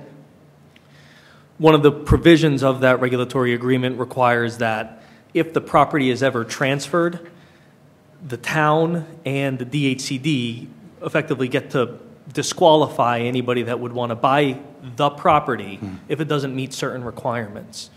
And so when we're talking about, you know, Mr. Robleski, and if there was a regulatory agreement associated with it, then if he were ever to, to sell it, um, to transfer it, he would have to first go to the town and say, here's who I'm transferring it to, what do you think? I can tell you just from some transactional experience, time is the friend of no deal. And then if somebody who is also not well-versed in the subsidized housing inventory or what it entails, because there are costs associated with lottery, there are costs associated with the monitoring and maintenance, and then there's also a, a less rent. So for a one or, for a one bedroom, let's say with a utility allowance, you're probably less than $700 a month. And for, uh, or, or maybe that's a studio, and for one bedroom, you're probably at $790 a month. For a two bedroom, you're probably at $1,000 a month, which is, if you know what market rate rents are here in Amherst, there's a few hundred dollar per month difference. And so that is borne entirely by the developer at that point. They have to construct it the same way that they do every other unit. Um, and so, but they're getting less rent for that unit or those units. But it's that, all of that aside, I think it's that regulatory agreement and that um, the additional hurdles to jump through for a transfer of the property uh, that, that can cause some concern, especially um, if someone were to come and look to buy it. You also, if you're going to get a mortgage, you have to get the, the bank to be on board with having this regulatory agreement as well. And so it's, while it is, I mean, good intentions, and we understand, I think maybe Mr. Robleski will have to think about it offline a little bit. I mean, I don't know. Part of this is contextualizing where we are right now. And so he has an approved project with 30 beds. And he's coming back to ask for five more beds, and it, it feels like there's, and I, I, I agree with the planning board member, said, let's look at what we're doing here with the infill development and, and what this is and the scope of it, and, and understanding that there are larger issues in town. I mean, I think you know that I'm involved in a lot of the different projects and know of the parking, of the affordable, of all these issues. But I would agree that this isn't respectfully the project um, to have hung up for those things. I think there has to be a zoning bylaw change. I think the planning board understands that, and they're going to get data and actually effectuate that. And I think that uh, that is both parking and with affordable units. I think there's a lot that should and, and can be changed. I think that there are waivers, you know, when there are folks that may say you're not working in accordance with the bylaw, and, and my response would be, no, this is exactly what the bylaw provides, because it builds in that section 7.9 waiverability. If, if you wanted it to be in accordance with the bylaw, you wouldn't provide an out through a waiver. You would require somebody to go through a variance, which is a very specific process under state law, with a zoning board of appeals that requires soil shape or topography. Right, I mean, you get it if, we won't have to talk about other towns that you can get it in, but um, I just, I, I want to suggest that this is an appropriately designed site based upon the, the data that John has looked at, based upon personal experience, um, and I think based upon best practices. So I will, we'll look at the, the affordable piece as a little bit of horse trading. Frankly, I don't know that I could recommend that he says it's worth the five bedrooms to go through it, because I can tell you that with Amherst Housing Authority, as far as marketing goes, you're talking about you know, for the four units on University Drive was $25,000 just to go through the market, the lottery to get to that point.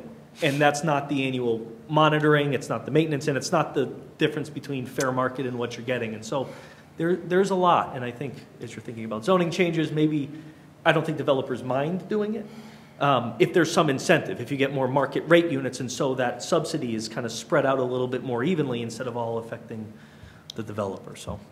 Well, But you are getting more units. You're requesting five more units. Five more beds. Five more beds. Right. You know, to talk about that a little bit in my years of dealing with people, I mean, I understand people. We're all people. And there's situations that have come up through the years where the rent is considerably lower because I recognize that they have family issues or whatever, they're trying to raise three kids or whatever. So, you know, in a way, I'm dealing with subsidies. I'm taking money out of my pocket and my wife's pocket, and my grandchildren's pocket, so to speak. But I understand people have different things going on in their life. We all do. And I, did, I guess I manage from the heart, not only from the pocketbook.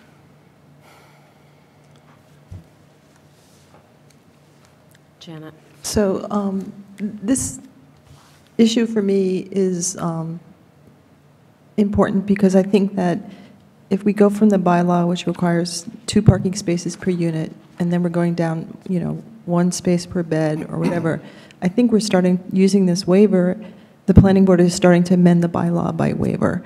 And my question um, is, how do you meet the standards of this waiver? And it's not, to me, it's very specific. Um, It is important to me what it says, and I think the impact is, um, uh, it, it does land on the tenants, it can land on the neighbors. Um, And so I'm not, you know, and you do have a project that came to us before, and I was, I was so, I really liked that project, the first one. I thought, well, there's enough parking, there's enough space, you know, it's, it's right size for the lot and everything like that. So I don't think we're going to kill that project if we say no to this project. And um, I just think that we can't, you know, every time we talk about the perfect fit report, which is based on the Boston metro area, I don't know why we're talking about it, because we don't live in a city. Um, You know, that we don't live in a major metropolitan area. And I would be very interested in knowing what the parking needs are in Amherst, and that's what the transportation plan identifies specifically. You know, the downtown has been well-studied, but even in, you know, we have a no parking district where there's one, people are looking, you you know, in those two buildings, they're using more than one permit or parking permit or space per, per um, unit. And so that isn't quite working. And so, uh, you know, I would recommend the planning board look at that and say, you know, we need to have enough parking for people in a building. And so I just think, it- I think we need to do the studies before we do amend the bylaw. And I'm not willing to amend the bylaw by just waving and waving and waving on what we, you know, believe about millennials or what we think is going to be in there. You know, I just, I don't, I, I just don't have the data. And I would actually love to, I'd love that you went out and did that because I sort of do that too. Okay, so at this point, um, let's just move on to some other issues that were left hanging at the last meeting. Um, I had a question about the landscaping. Um, At the last discussion, a member had brought up concern about the parking spots in front of the existing building. Um, And we talked about how they were going to be the, the electric uh, charging station spots and why they had to be there because they're near the connection and all that. But there was talk about how, you know, it, um, you know, everybody doesn't think electric cars are beautiful, but not that beautiful. So you talked about putting a bed, and I saw that there were some plants, but um, I was still a little concerned if they're, you know, 365 year-round plants, or could it be a fatter bed? Could it tie into where the sign um, is? You know, actually create a larger bed with some actual bushes and um, greenery. So what we've got um, on the screen is what we're proposing, but I think we can take a look at making it more robust. So you, this is the spot, this is the spot that you're talking about right here. Yes, exactly. Did we see something before? We, there was nothing there before. Right, there was nothing there before. And so I it got think. brought up, so the architect had, had added, she mentioned that during her talk, that she did put some greenery there. I'm just saying, I, in my mind, had something a little bit m- more robust. I think it was Maria who brought up, she can, if you, Well, um, there's, there's going to be some tall, obviously those aren't to size, but there's going to be some taller shrubs around the transformer there in the back. So you're going to have the parking space barrier, so to speak, the sign, and some bigger bushes behind there also. I think it's um, sh- shielding the cars from the roadway to, so you don't notice the cars or the parking lot so much, like a, it- you know, it's a bit of a raised bed around the sign. If maybe you just had a little bit, like continued that Continue raised it down bed around here. and come around and Yeah. then just put some. Add some more robust something there. Yeah, stuff that's sort of green, uh, which Sure. view do, um, you know, some, some of it to be more green or evergreeny or something that, you know, Okay. shields You mean like year-round. Because, you arborvitae know, or it's New something? England, so. We can, yeah, we can look at that, and whether it's like a, a spruce or something that's, yeah, Yeah. we can, Some low, arbor- you know, the, I'm not a And if you had a landscape similar, architect. similar planting system just in front of the transformer, okay. I agree. the agree. two things there. Absolutely. Connected, maybe not literally connected, but visually connected, would make us, would make good sense, I think. Can I ask a quick question? Can, can I be reminded why the transformer has to be there? Or is it just there already? That's where it connects. If you move them to behind the building, it's far away. You Is have it, to is that more trench and run. expensive or? Oh, yeah. Okay. And so I didn't realize that shrubs had been put in. I would recommend them high enough to screen the view to cover the car because, you know, when you go up Main Street, you basically see lawns and lawns and lawns. And so this would sort of jump out as cars looking like they're parked on the lawn. Four-foot high shrub or something. Yeah, high shrubs would be great. Because if you remember, the, the topography rises. Yes. And if you put, uh, even if it's a foot raised bed, and then you have a four-foot bush, I think you're lower on the street, so Mm-hmm. you can see, I think even bushes would make a big We can- difference. We can come back with that.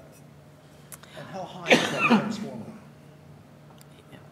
Boy, Uh, It's probably going to be similar to what at University Drive, so about six feet. Six feet high? yeah, I've got a, Electricity, But those bushes in front of the existing porch are Mm-hmm. like seven and a half feet tall. Maybe the transformer- And most, some of them are evergreen, as you see there. Think of the holly on a corner and the rhododendron. And then during the summertime, it's uh, burning bush or something that's in between there. But the So as you're looking up, uphill, plus the, where the transformer's going, we're lower in that section about a foot to a foot and a half. Okay, but that, that transformer's placement is between the rhododendrons and the street, Correct. right? yes, So you would, you would need to plant something else. In front of the front of the transformer. transformer. Right. yes. right. which I do remember that being talked about. You talked about Well- bushes five feet or something. Yeah, there's three bushes that we talked about. There's a Hinoki cypress that are currently growing there. remember that. And possibility one landscaper, so we can transplant those over to there. And those are like yeah. six and a half feet That's what I now. remember from Yeah. last time. Um, And there was talk, I'm looking up the driveway, and um, I do see some like arborvitae's or bushes as you go up the driveway on the right in front of the new building, uh, further up. We had talked about thinking about a tree or something, because there was some green space there. I don't know what, Well, that's, if you remember the, the comment that I said, we can't put much in the front between the railroad tracks to the right side of the driveway, because that's where the stormwater underground tanks are. right. So we can't have roots growing into there. I think we were talking about uh, between where you're going to put that new rebuilt shed area and your front door of your existing, there was just like green space uh, m- right there. We're over Yeah, in there was here? in that area, that, you Okay. know, and the architect was going to look at that. I think Um, propane, is there, was Well, a propane tank Yeah, buried? that's about the only spot right there where the Okay, hand that's is. a The good- propane tank is going to Okay. be buried there. And the cover for the propane tank is going to stick up, I think, like six or eight inches. But it's 16 feet long. Pretty. But I'm thinking, you know, maybe uh, a sitting bench in that area. That would something be like nice. With a couple of shrubs. That's what I have next door. I used some of the stone, in fact, from where we took a barn down that was dilapidated on the High Street property. built stone walls in front of the house, used it for sitting benches, used it for, you know, landscape, highlights, of stones. It came from the site. Sounds nice. And if you could remind me of how many bike spots you had um, on the outside and in the, Well, that uh, bike rack area Yeah. um, is going to be like 14 feet long, okay, so it's basically attached to the, what you see now that's there, it's 14 by 14. And then we're just adding that little area to the left for uh, more trash and recycling. Um, I think there's like 14, you can put like 14 or 15 Okay. bikes, you know, with the loop style. Plus what's inside in the back of the trash building there, probably another, you could prob- probably put 15, 20 bikes 50, there. okay, great, wonderful. It's a good place to bike. And the other point I thought of, to answer a question is, you know, it says seven office spaces in the existing building. Now, keep in mind, one of them is the section that we're going to rebuild. Okay, so that's one office, so now we end up with six. Now, the way it's been run over the years, when we bought it, is it's six individual rooms, basically. And they share a conference room and a waiting room. So what I'm envisioning is to separate that into three office, offices, like two-room offices within that existing building. Okay, So that's going to be, you know, less traffic. And I think the upstairs would probably be like therapists, something like that, to have people come in for an hour or something and leave. And downstairs, maybe some small office, accountants, lawyers, you know, some service, something like that. Whatever's allowed under, yeah, he won't move there. won't move there. Whatever's allowed under the bylaw anyway in the BN zone. So it's not going to be seven offices, so to speak. It'll be like three office suites, plus the new office in a new building. Good to know, thank you.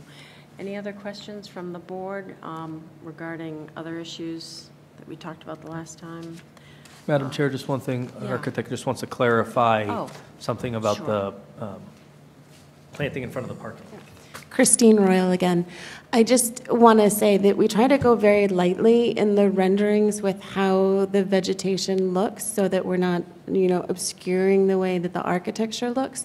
But the, what we've called out in the landscape plan is three inkberry bushes in front of the parking, the south side of the parking at the front that we were just discussing. Inkberry is an evergreen, and it's a shrub that matures at five to eight feet. So it's a little misleading the way it's rendered, but we didn't want to hide the parking because we- all Makes know it's sense. there. Yeah. Um, You had mentioned the propane tank. That was one of the items that um, was hanging from the last time, where it was going to be put. I see we have the fire department says it's fine. Um, Maybe you can just, point- it was in that, yeah, right, okay, great. Yeah, we ran into an issue. I was hoping to put it on the back of the building, but um, the setback for placing the propane tank, it has to be 10 feet from a building and 10 feet from an adjoining property line. So with the 20 feet setback in behind the building, there's your 20 feet, so you can't put the tank anywhere.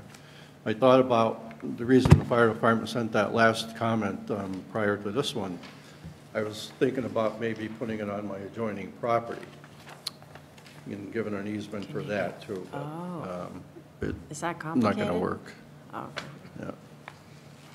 But this fits all of the requirements, and again, it's just that little cover that sticks up and landscape around it. I think it'll fit. Sounds good. Um, So at this point, uh, we, Chris, could we do the special permit? Um, Would the board feel comfortable with moving ahead on the special permit? Um, We could make a motion, and um, first, I- I'll just open it up, I- if that, if that's a go, I'll, I still have to do public comment to see if anyone would want to speak on the special permit. Um, Yeah, yeah. And this is really a question for Mr. Reidy or Mr. Robleski. Um, If the special permit were approved, but the rest of the plan were not approved, would they still go ahead with the um, um, new building that is allowed by the special permit? Would that fit into the old plan?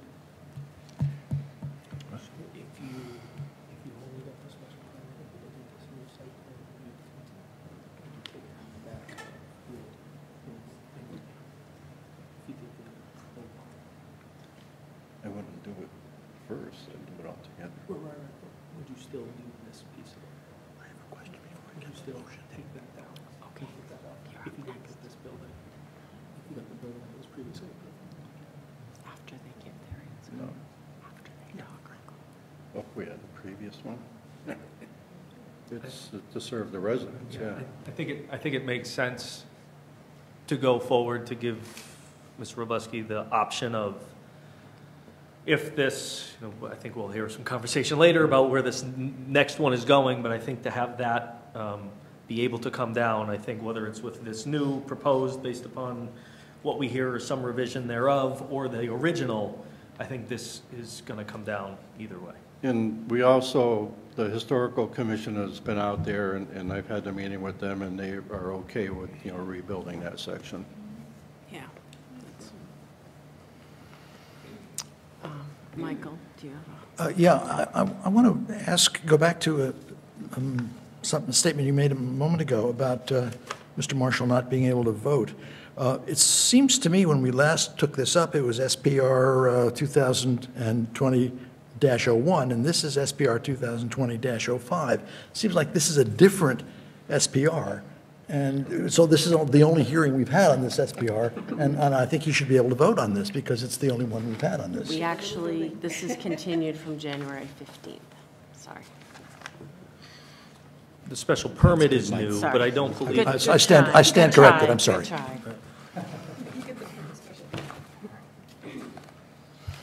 Chris?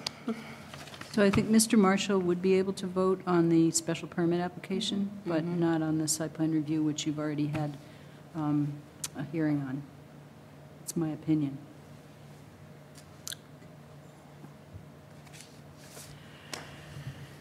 And that would, of course, be his decision, no pressure as a first day on the planning board. Um, Are there any other questions or issues, either on the special permit or on how we proceed tonight?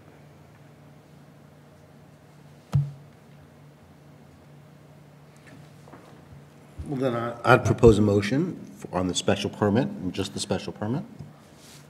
Um, We could do that. I just have to check with public comment. Oh, yep. Which, if, if we're going to move forward on this. Uh, Is there anyone here to speak on the special permit part of this public hearing on 462 Main Street? I see no hands. Um, So, Chris, do we have to go over anything, or can we just have a motion for the special permit? Yeah. You'd have to make a finding that it is not um, substantially more detrimental to the neighborhood Okay. to allow this to occur, Can that be in the motion? and that can be in the motion.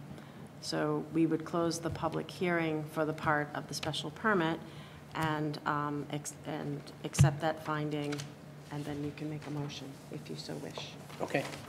So I'll move that, that we consider this application for a special permit, and that the, it's not substantially detri- more detrimental to the neighborhood, or the appropriate language, but that was the gist of it, um, to permit the special permit going forward.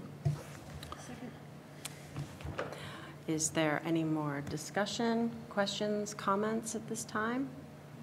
I see none, so uh, we'll take a vote. All in favor of the special permit? I see unanimous. Okay. Thank you. Thank you. That's good. Um, Is there anything outstanding on this right now? Like, I, I, I mean, only that, do we have a land, so we don't have a current landscape plan? You you do have a current landscape plan. It that sounds like the it may last need one? to be updated. Um, And also what I'm hearing is I'm not sure that I have the votes on parking. So, I mean, I let us, I guess we would request a continuation to the March 4th hearing and let us think about um, either providing more data and trying to convince some folks that there's enough, um, or considering the affordable piece, or looking to add more parking and seeing where that leads us. You know, if there's a, a way to do it. I, I don't know that there is, and we may come back and say, this is what it is. frankly, take it or leave it, or, or that's it. And I, I mean, I, you- I don't like to give ultimatums. Um, But that might just be what it turns out to be, but at least let us go back and investigate, and if, if we can come back and make it work for everybody, then great, and if not, then I think we're gonna have to have a conversation. That sounds like a good option. Um, I would also love if you could submit the data you collected on the parking, um, even if it's a photocopy of the data you took or something, and then um, the We can planning probably- we can- department could Yeah, organize we'll it put or it into an. Excel spreadsheet, and then, Okay. because I think it's useful, just, I think generally for everybody in the room to have it. And and when you When- do so, when- could you just note the time and the place when you did that? Smart. Yeah. And also, uh, if it could be per bedroom, because you, oh, you it- you emphasize, when you were do- going through it, you emphasize the empty spaces. And that's less important than how many bedrooms and how many cars. And he can probably fill some of that out. Janet, I recognize. So um, I was just also going to offer the idea of sort of overflow parking, maybe with the VFW across the street. Um, I know that involves a special permit, but if that was the commitment and you thought that that could work out by talking to them informally, um, just, Yep, we'll consider. Well, would you, I mean, Yeah, and maybe fine. some other business, because there's a lot of businesses along there that probably have empty parking at what night. about me using my parking that I have excess parking next door? Yeah, So that, I was just going to add, you could look at that um, again, I- and um, you also mentioned uh, possible, because you're an experienced landlord. You obviously care, you want to run a good business, that's obvious, and you don't want to cause a problem. And if there was a problem that evolved in your parking situation, you would find ways to Oh, alleviate I that or handle fix it. it. Right. I read in your plan that you say that you would, you know, if it came to that, you would offer rent discounts to people who only had one car or no car. Um, You know, that could also, you could look at that a little harder and actually have that as a starter for some of your sites. I- I'm just saying, just, you know, to consider. Um, And maybe you will have some of your apartments that a few of them that don't have parking or only have one, or what, I'm just saying, you know, look a little harder. There's been some other developments around that where it's this, trying to find that sweet spot. Um, I see Michael. I think it's you. Um, Another thing you might think about, um, you quoted the master plan, which I appreciate. Um, One of the principles of the master plan relative to affordable housing is that incentives be found, that the, the the planning board, the town council, we find incentives to create uh, affordable housing. Possibly the, the going way down on the parking requirement is an incentive.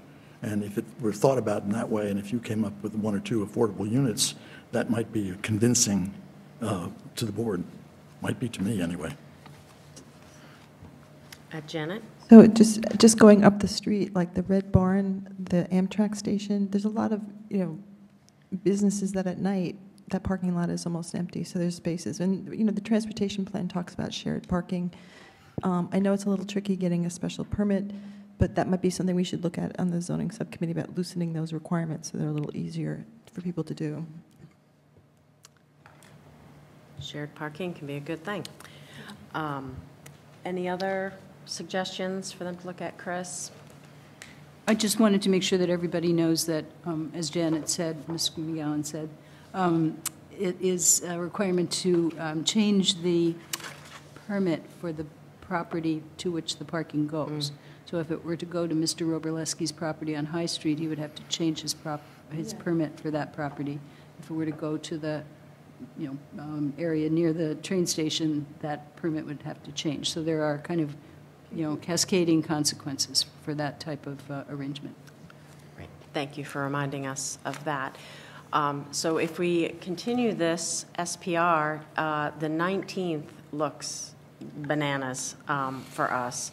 So it would be the next meeting, there's some space. Uh, Would that be agreeable to you? I think, is that, oh, good lord, is that March? Fourth. 4th? Wow. Okay, might be out. Um, So uh, what else? I don't remember what we have on the 4th. I know Mr. Mora's coming. Yes, Chris? So what I remember that you have on the 4th is um, Rob Mora is coming. We've changed, we're changing him from the um, 19th of February because it's too, too overloaded. Um, And also you have um, Jeff and Jack Brown coming about a driveway on Bay Road.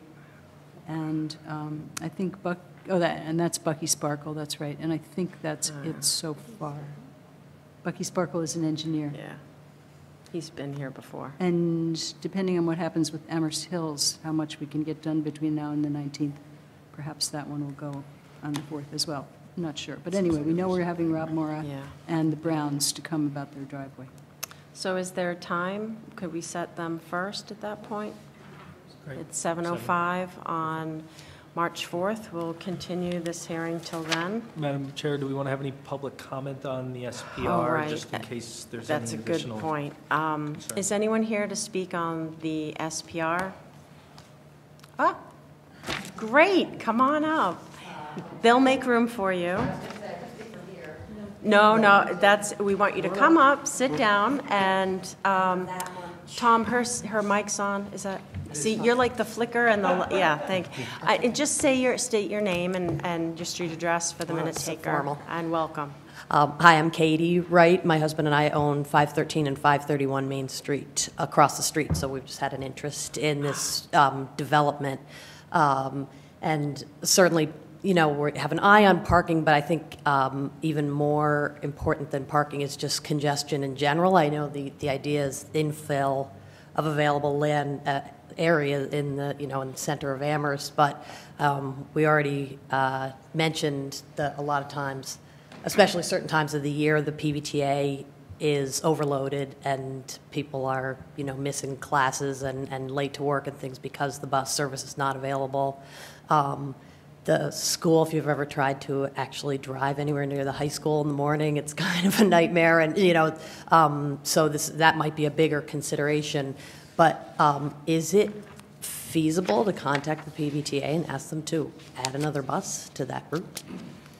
Anyone can always do that. That's a Um, great idea. yeah, And the truth is, they do track the numbers Yeah. um, very closely. And Right. demand means the more usage they need Right, but I mean, it's been that way for years. I've lived there for 20 The years. other problem is they balance money, of course. right, So, yeah, um, so. but no, everyone, right. Right, You know, and right. right to your, um, the politicians and your, uh, your local representatives and all that, because the more voices, the more Right. buses. Right, so that would just, Well, in my conversation with Alex Forrest, they are aware of this particular route in particular. Mm-hmm, Yeah. Starts at Old Belchertown Road out by the old landfill. Gets, you know, Gatehouse Road, Colonial Village, Is it Lower 30 or Main Street. 31? Is, we all yeah, know 'em by yeah, numbers. 31, and then No, I think, Route is it- 30. is it 30? 30? And I then there's think like a it's 30. 34, there's two that go down Okay. there, but anyway. But, you know, even, you know, like that time my tenant couldn't get on a bus, you know, it goes up and stops here at Churchill Street and picks up additional people, goes through the center of town, then to UMass, and mm-hmm. stops it through UMass and Puffton Village. But he is aware of that route is overloaded. And he's gonna, they're working on, you know, adding the tandem buses or something like that. Right, right, To get more bigger. capacity. So they are very aware of it, and they want to work on that. So it is an That's great. active work in progress, so to speak. At rush hour, how many, PVTA, how often does a bus stop there at rush hour? 15 minutes. 30 is pretty And that, frequent. that data I mentioned, the 202 people I got on, on Wednesdays in September of 19, 60% of them were before noon time, and 50% of that was before 10 a.m. So they're going to try to, you know, overload the route, so to speak, and get more capacity to accommodate everybody to get them to UMass or wherever they're going. So they are working on it. Good. Okay. And put those calls and emails in. All right, great, thank you. Thank you for Would you mind up. stating your last name again? Wright. W R I G H. Thank you. Thanks. All right, so at this point, we'll, uh, I, do I need a motion to continue the, so somebody? Yeah, move to continue the meeting till March 5th at... Fourth. March 4th at... thank you, 7:05. At 7:05. That- Second that, someone? Anyone? Sorry. Okay, uh, any discussion? No, all in favor? Unanimous, great. All right, All right. yes. Thank you very much. Thank you. Thank you very much We'll see you for on your the time. 4th. Okay, um, I would like to take a little break, if that's all right, for everyone, a five-minute break, just uh So, we are going to continue. Uh, We will move to item four, master plan update. This actually ties in a lot to the uh, planning and zoning, item five, the zoning subcommittee report. Um, Chris, maybe it's appropriate if you start, and then maybe Maria, you can give a little summary of what happened at the zoning subcommittee and reference documents that we have. Um, Start by saying that you all have two packets. You received one packet in the mail, and then you received another packet on your desk, and most of what you received on your desk has to do with the master plan update. And the agenda says revised February 3rd, and um, we revised it because we dropped an item. So I can go through the packet and tell you what's in here, and then we can start to discuss it. Um, so I guess the first two pages don't have to do with uh, master plan, but um, there is a memo from Janet McGowan about conversation that she and I had with someone from Pioneer Valley, no, excuse me, Metropolitan Boston um, Planning Commission, MAPC, on um, master plan process. There's a memo from Michael Birtwistle um, in response to the CRC memo, and uh, it talks about the difference between the words approve and adopt, and then makes some conclusions at the end. There's a memo um, also from Michael Birtwistle uh, on the master plan process, in which he sort of whittles down the process that was described in the CRC memo. Um, There is a memo from, well, it's the same memo from Michael Birtwistle, but it has red um, highlights from Janet McGowan, who um, made responses to Michael's comments. Then there's um, a document that is, um, it looks a little bit like a um, diagram for a computer, how a computer works, but anyway. Because it kind of um, is. Yes, it's, um, instead of CPU, it's got MPU.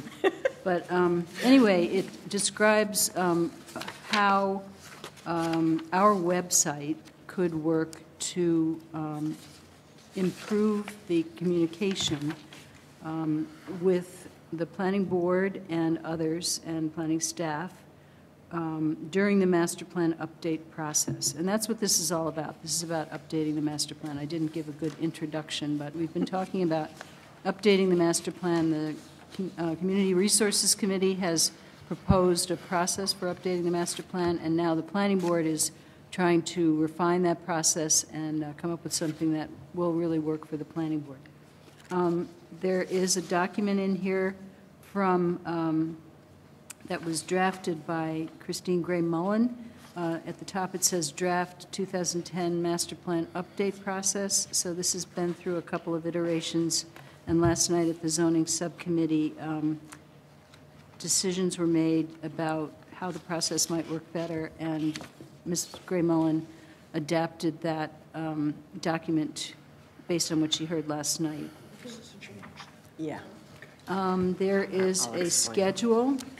Um, If you look, there's an Excel spreadsheet in here um, that makes a proposition about um, how the planning board can manage all of the things that it's working on. So the planning board is working on master plan updates, um, flood insurance maps, zoning bylaw rewrite.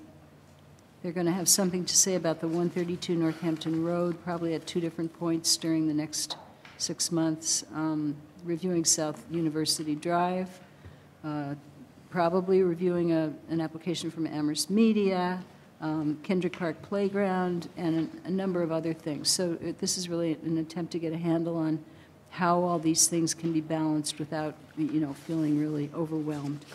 And then there's, um, I think the last thing in the uh, packet is a chart prepared by Maria Chao, and that chart um, seeks to make it more simple uh, to describe how this master plan process will work. So I think it would probably be a good idea if each person described um, his or her own document, and then um, we could have a discussion about it. So I don't know, Ms. Gray Mullen, uh, where would you like to start? Do you want to start with, I- I think Maria's flow chart is probably just the easiest way to get everyone on the page of just what's going to happen, because we've heard, we heard from CRC um, and how they're trying to get their memo and flow chart together. Um, So we're somewhat familiar with that.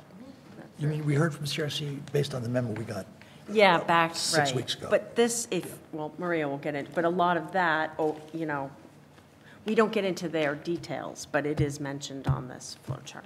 I just want to make sure we hadn't had another communication from them.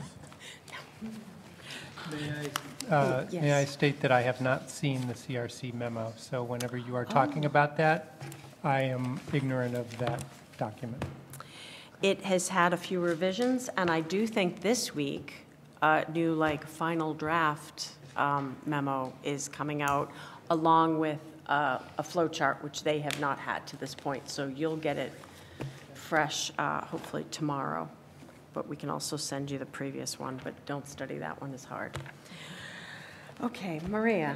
Sure, so I can run through this flow chart, and again, this was sort of born from the feedback we were getting about the confusion and frustration with, you know, the process that was presented from CRC, and then we don't have a process, let's make a process. And so last night, I'm just gonna combine this with the zoning subcommittee report real quick, and that, all I'm going to say about that is that it was a really great meeting. We had a lot of differing opinions, different perspectives, and we ended up with a really great end result, I think, that could only come from that dynamic. And um, I really like that aspect of the zoning subcommittee meetings, where it really feels more like a work session.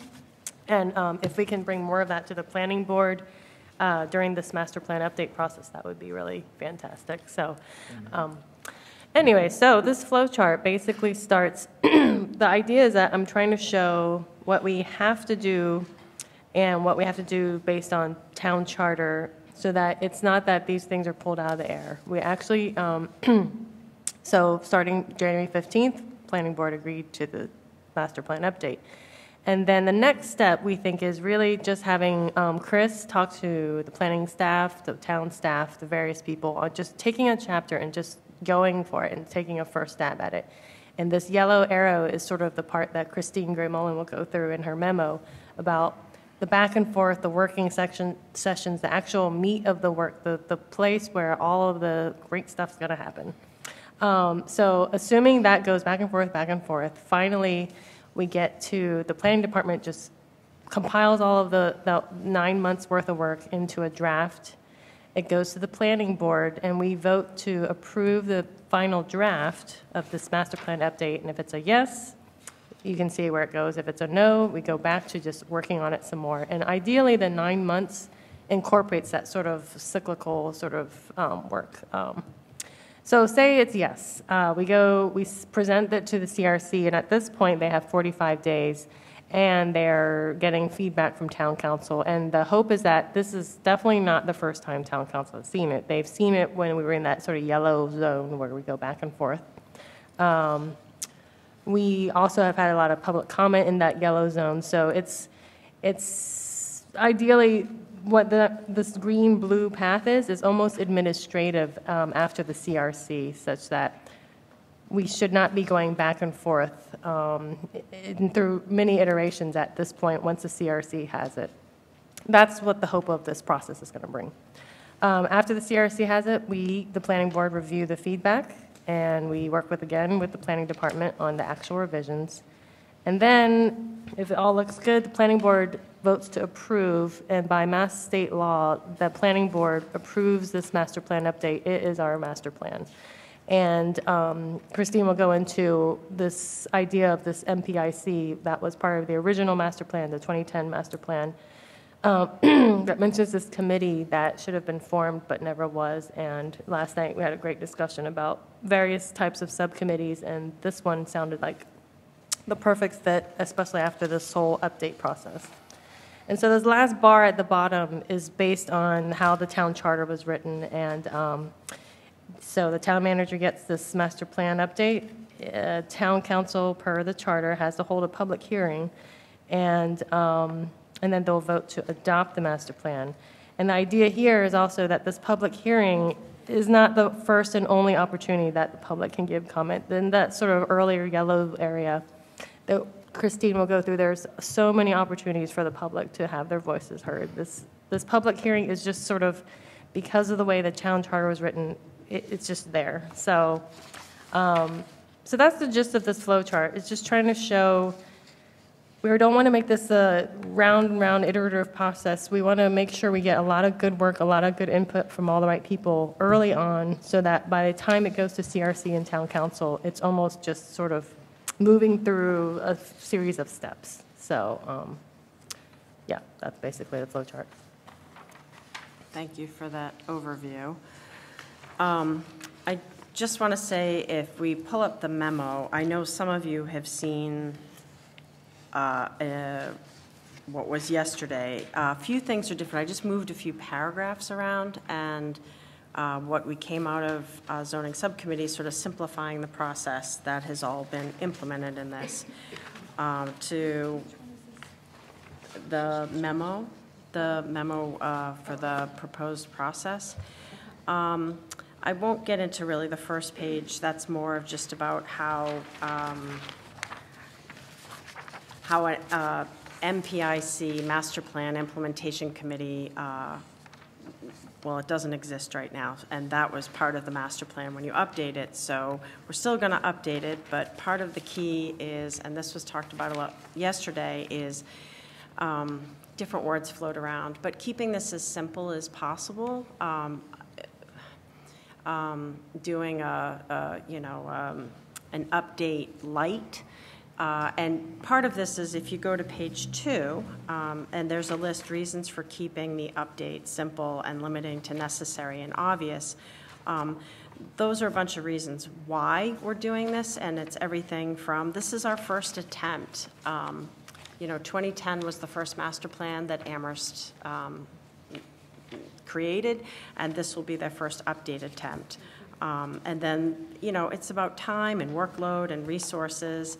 Um, Yet, it needs to be done because it is part of our charge.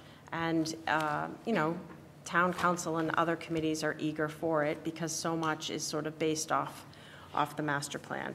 But the thing to remember is the basic blueprint or um, framework of the master plan is not going to change. So we talk a lot about wanting to keep CRC and town council updated, but really, even more ahead of them is we want as much public input and ways for the public to give feedback in this process, even if it is a, a simple or light update. Um, you know, a lot of people will be bringing up comments or have concerns about more complex issues that won't be addressed now, but all this will be collected uh, very formally and it will be presented to the uh, Master Plan um, Implementation Committee, I'll call it the MPIC, uh, It will be helpful for them. It will be helpful for the next update, if there's another update in five years. Um, And it will be helpful for the creation of the 2030 master plan effort that could start, I mean, it could be six years now, but maybe it will be determined not to do another update and instead go right for, start working on the master plan. But either way, we will have this group um, that will be collecting data. So um, If we just go to the uh, page, if we go to page four, I'm like trying to save us time here. I just want to point out what I created is planning goal, I said planning board has set goals on completing this um, MPU, master plan update. And, um, you know, this is what I came up with. I hope you agree. Um, You know, uh, this is a lot to digest, and you all have homework. So when we come back, you know, if there's um, you know, a goal that I forgot or we want to add to these. Um, but this is what I'm hoping will keep us focused. I want this to be a win for the planning board. Um, this is kind of our baby, and it's our opportunity to shine, and goodness knows, sometimes we need some good publicity. Um, so as I wrote this, I was listening to all of the comments and the memos that were sent. I listened to town staff. Um, and I'm really, I'm striving for balance. I'm, that it's doable. I don't want to overstretch us, and I don't want to bite off too much, and yet I don't want to not have it uh, quality work. So, um, you know, take note of those goals and, and think about them.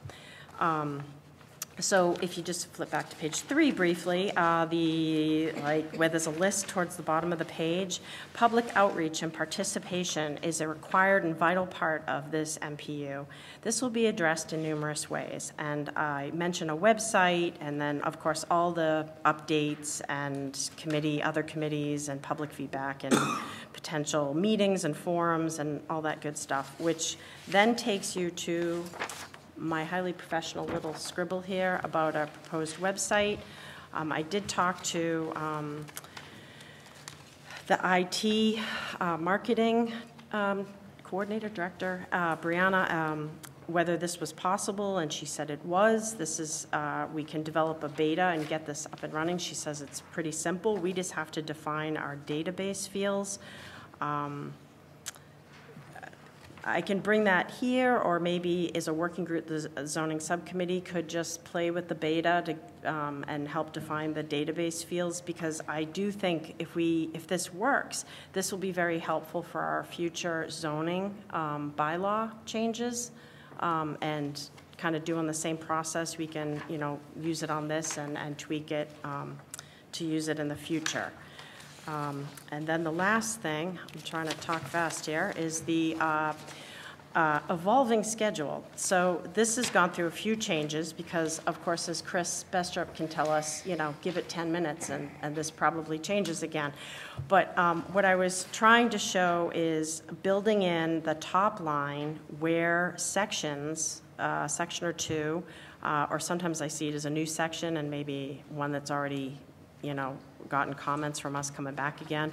Um, just in the next six months, uh, different um, dates that we could sort of make that there's like a solid like hour that we talk about and review this.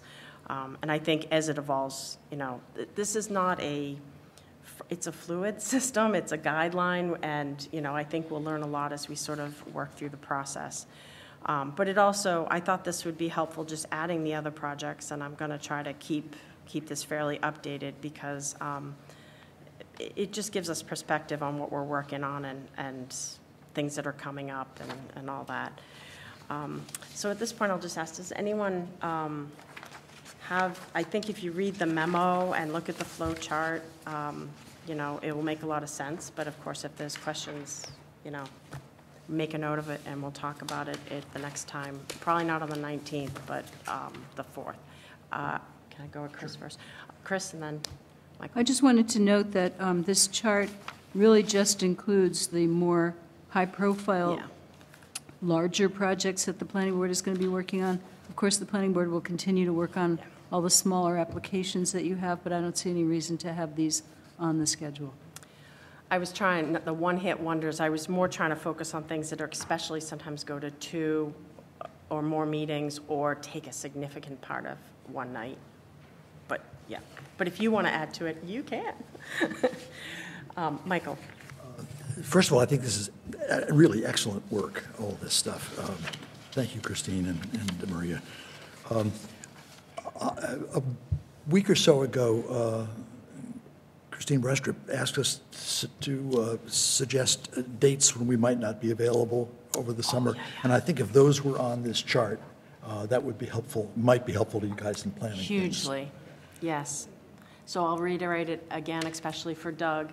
As you're sort of evaluating, um, you, ha- we have a list, it- it- they're sort of on here too. I, um, we have a list of all the planning board dates. As you're determining your summer vacation, if you're going to be away, um, I, I just want to ask Chris something. We've never done this, but can't people call in? We've never done it, but. No, as long as we have a quorum here, people can call in and participate, yeah. And various boards and committees are figuring out how to do that. Yeah. So it can be by Skype, it can be by phone, it can be by various mechanisms. Because I would be willing, if you all, I thought the master plan is one of those issues that we could kind of try that on. I think with um, SPRs and special permits, it would be a little bit harder. Yeah, um, but something like this. The other part I was going to say is if people are away, they can still get the section and do write-up and make their corrections, uh, feedback, or whatever, and send it in to us. So, because it's just last summer, a lot of um, people's vacations didn't overlap, so we missed a lot of meetings, and it made um, a a pretty intense fall. So um, we're trying to avoid that a little bit this year. So if people know when they're going to go away this summer, or even are sort of like thinking, um, send it to Chris, and then we'll try to update it on this. And then if you're a maybe, by seeing this, maybe it will make you be like, oh, I could slide it that week or whatever. Or I also plead if you could try to avoid, you know, planning board meetings if you can. But yeah, great idea. And Chris, how would we go about finding out, like, doing a test drive, like, for someone calling in and trying to do something? I'm Do you- happy to stay at home. Yeah, mm-hmm, okay. I mean, if that's what you're asking. Or we could, no, but we could get someone to call in, I was thinking have you, but, like, have someone call in and like pretend to be, and we could just. We wouldn't do this test during a real planning board meeting, but do you know any committees who are actually doing this? I have seen, I have heard of committees and boards doing it. I just am not sure which ones, so I can explore that and find out about thank it. you. And it requires um, a person who's, Okay. So maybe you can talk to them yeah, upstairs or and people have to ask permission from the um, chair, or tell the chair that they're going to do this, and sort of get permission from the chair to, to go ahead with it, so. Okay, good, we'll pursue that. Um, Any other questions or issues right now? Also, I think uh, if, if one of the seven or of us aren't here for a master plan discussion, I don't think that will be uh, problematic, particularly if we have a chance to comment in writing uh, before or, or even after, because even after we discuss it here, it'll still be open for public comment or, or questions through the website. Absolutely, I agree. I mean, part of it last summer was even getting a quorum. That's where we couldn't get the four. Um, So that's a good idea, we'll start. Yes, So you're hoping we stagger rather than we all take the same week off and don't meet? we would rather have, well, it depends, that's what we have to see. In some ways, if it's only like one or two meetings, it's better to stack everybody the same and miss it. Um, The worst is when everybody ends up, and it's too many, that's what happened, and we couldn't hit the four. So it's sort of a balancing act. So we'll, we'll see what people have planned. I know there's at least one member who does take um, some time off uh, to go, is somewhere else, sorry. So um, anyways, we'll just see how bad it is. Hopefully, you know, maybe it's not as bad this year. But we also want the master plan update to keep, you know, moving forward through the summer. Janet? So do you want Michael to talk about his memo next, or? If he wants to, sure. I don't have a lot to say, excuse me, I don't have- don't have a lot to say about it. Uh, I wrote it uh, three weeks ago, or perhaps two weeks ago, and it's sort of gone past things at this point. But basically, it was in response, I can't even find it now, it was in response to the, the, uh, thank you. There's one of them. It was, in it was in response to this, uh, uh, s- uh, the CRC's uh, letter of, of uh, how they wanted to work things, and I thought that was too complicated. And I tried to propose something that was less complicated and would do the job, uh, because less complicated, better.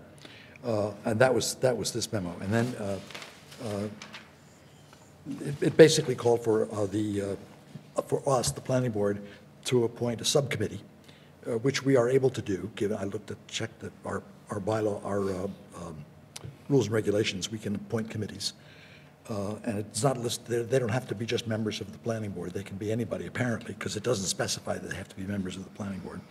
In, in any event, we would have a subcommittee of the planning board charged with uh, implement, with um, implementing this revision, this late revision of the master plan.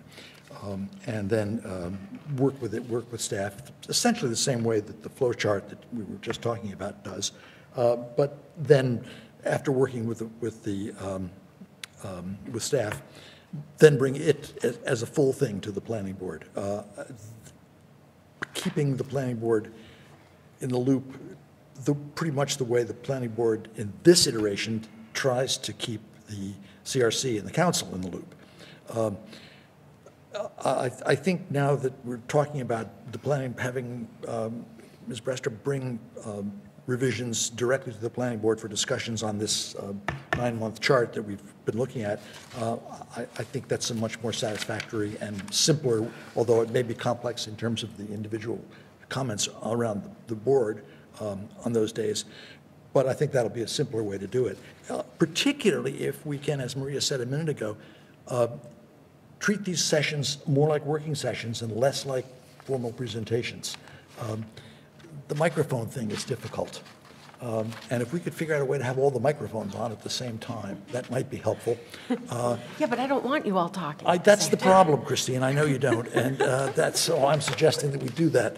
Um, In any event, I think if we can have, the- if we can have a, a- a- a cordial and and busy working session around the table with people uh, in the audience, because that's, that's one of the things we want to have, is, is have um, um, feedback in that, of that kind, and input, not feedback just, but input. Uh, And I think that will be a much more satisfactory process than the one I ori- had originally proposed. So um, having said that, I kind of basically withdraw my original proposal. Thank you. Um, Janet, I assume you want to talk about your memo?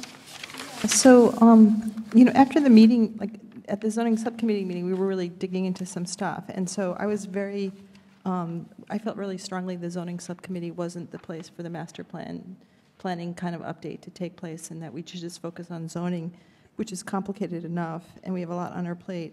I really like the idea of the, starting the master plan implementation committee, because you're right, that when you look at the implementation chapter, you know, that's the first thing they say you should do. And then when you look at the, like, you know, we, the town has done a lot of the implement, implementing, but a lot of really important things didn't get done, or it makes sense you need a committee to kind of really focus on that.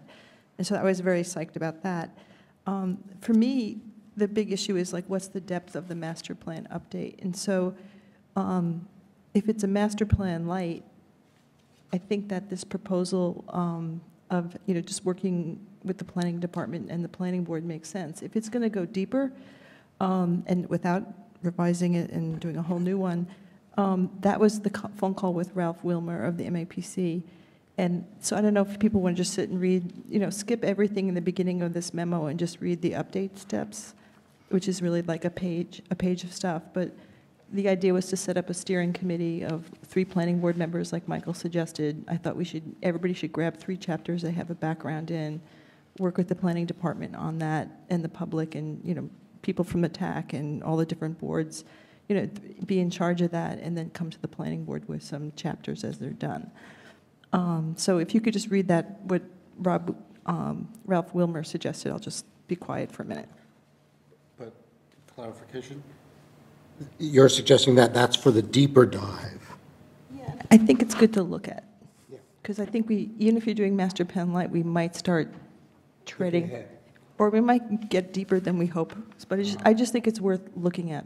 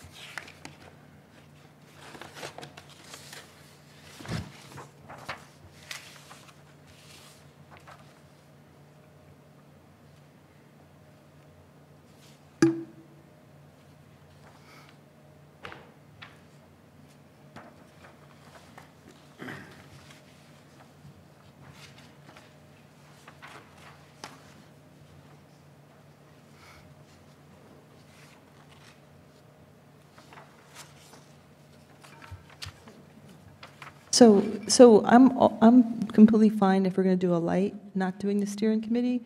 Um, If we're going to do a more thorough update, which could have benefits, um, I think we should, I would follow the Willmer route, and so that would be my suggestion, so.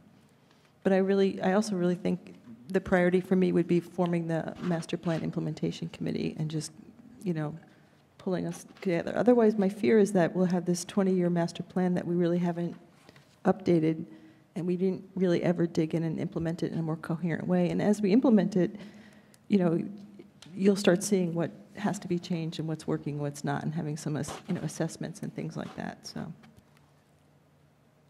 Michael? Janet, you, you, uh, I'm in agreement with the importance of the, of the master plan implementation committee. Uh, On the, on Maria's flow chart, uh, you see that, that uh, down toward the bottom, uh, it says formation of master plan Impl- implementation committee. Um, And when I saw that, um, that was news from the chart that we saw yesterday, that wasn't on the, yesterday's chart. Um, My, my, and I think it's important that we have that, and at some point we do that. And I'm wondering whether or not, uh, and this is really a wonder and not a, a- a statement, um, if, if we ought not to start the MPIC, to start the, to start the acronym, um, right away. Uh, That as soon as the um, proposals that end up in the uh, proverbial basket for next time start arriving, that uh, the MPIC, who- whoever or whatever that has to be, turns out to be, can begin working on those things. Um, And that it be a kind of rolling process, and that, that there's no particular um, date by which a, a document has to be done, because there already is a very important and useful document which exists on the, on the website, on the, it's, an- it's an appendix to the master plan. And it's the implementation, it's Appendix A, implementation matrix. I don't know if any of you have seen it. But it's, it's a list of all the specific recommendations in the master plan with a column uh, that says responsible entities and another column that says time frame. And I've been working through, through this, trying to decide who the responsible entity for one, each particular event, or, uh, sorry, each particular um, uh, goal. And uh, those are sometimes pretty easy to figure out, and sometimes you wonder, and sometimes there are five or six different entities that are involved in a, in a particular idea. And then the time frame, of course, is, is another matter entirely. Is this something that can be done in six months, or is this a, a 10-year time frame? Uh, and they're, they're all there. But going through that implementation matrix is a really interesting trip through the, through the master plan itself. And it, it can give the MPIC a really good place to start and organize, and a, way to organize its work by going through that and saying, okay, who's responsible for this idea? Uh, the planning board is. Okay, well, how do we do it? How does the planning board do it? Or town council's responsible. How do we get to town council and, and remind them that, that this is their responsibility? That seems to me the goal of the, of the master plan implementation committee, to figure out how to implement this and figure out, more importantly, who's responsible for implementing it. And to sort of prod those people, prod the department in, in town or the, the board in town or whoever is in town that needs to be working on that. Maybe some non-town entities like the bid are involved in this. And I think some of the bid is involved in this in some cases, and I think we need to prod them. Um, um, So I suggest that maybe we ought to start the MPIC sooner rather than later. And I also suggest that the planning board take the bull by the horns and appoint it. Uh, I understand that the previous one was appointed by the select board, when we had a select board, um, and that that, uh, for various reasons, never quite got off the ground. Uh, And that may be miscal- a mischaracterization of what happened, but I wasn't involved with anything in town government at that time, so I didn't have any idea about it. Um, But it- it- Christine, you correct me if- if I'm over, if I'm misstating that, uh, the way that began. But in any event, um, is that right? So um, the Select Board was asked to create the MPIC, and they did actually create it, but I think there was a lag in the time frame in which they did that. And then by the time they finally did create it, um, planning board members were kind of tired of talking about the master plan, so no one volunteered to be on the MPIC. And so it sort of faded away into memory. Um, Well, um, maybe that's even more reason to start it now, because if we wait till after we're finished with this, with the review, the light review, we may all be tired of it then too, uh, and this may happen all over again. Chris? So I just wanted to note that um, if we were to dive into the matrix right now, there may be things there that have already been done, or things that we feel like we don't really want to do anymore. So I think part of the update is to decide, are those things still viable, and do we still want to do them?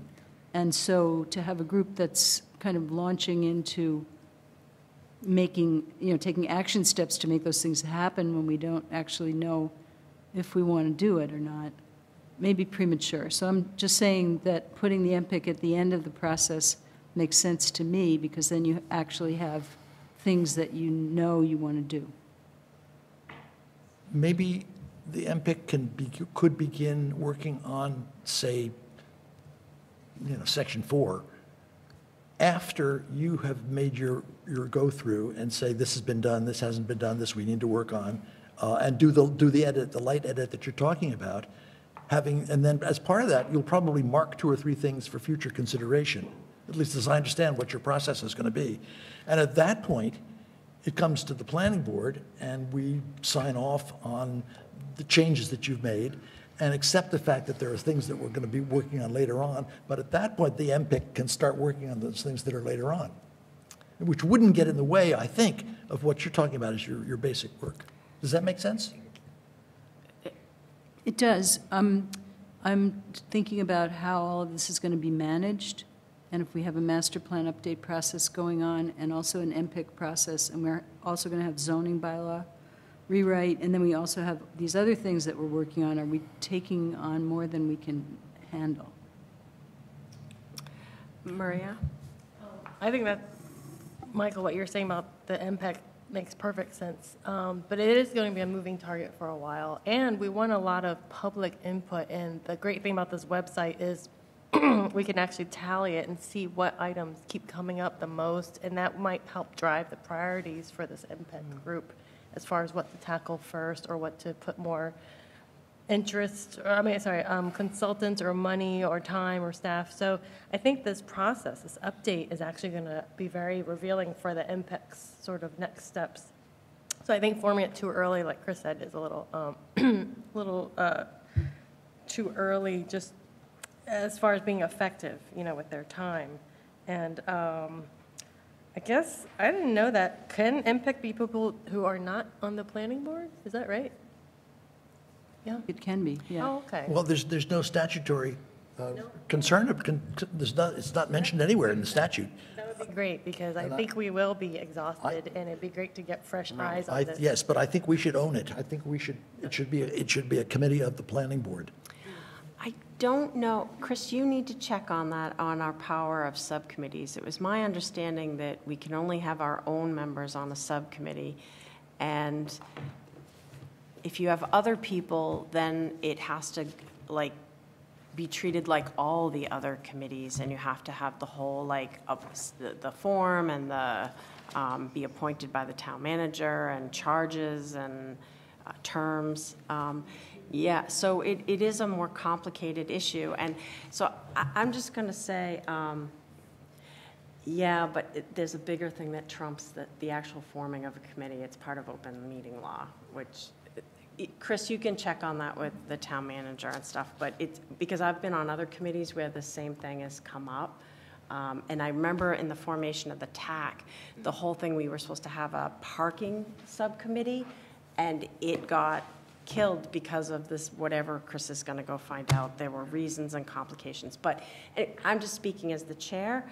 I do worry about having too many pots on the stove at the same time. You know, the MPIC, you know, I'm hoping I have enough energy at the end of this that I want to be involved in that, but I start to worry doing that right now along with updating. And Like I said, I want that to be done well and be a win. And we have zoning subcommittee that's, will have its work too. And then to have third, it, it just starts, I feel it's a little cart before the horse, because back to the public participation, how I'm looking at this, Chris had talked about a forum, we're talking about websites, we're talking about collecting all the comments as we move through the process. And then, great, you have all these comments, and then you have to um, sort them and prioritize them. And hopefully, there'll be areas that are shown that need to be addressed. Um, I, I just think it's too much. It, it, at least can we table this and get this process rolling and then see how we feel in a couple of months? Well, like I said, it was just a suggestion, and, and I- Yeah. I'm not, I'm not making a motion to that effect.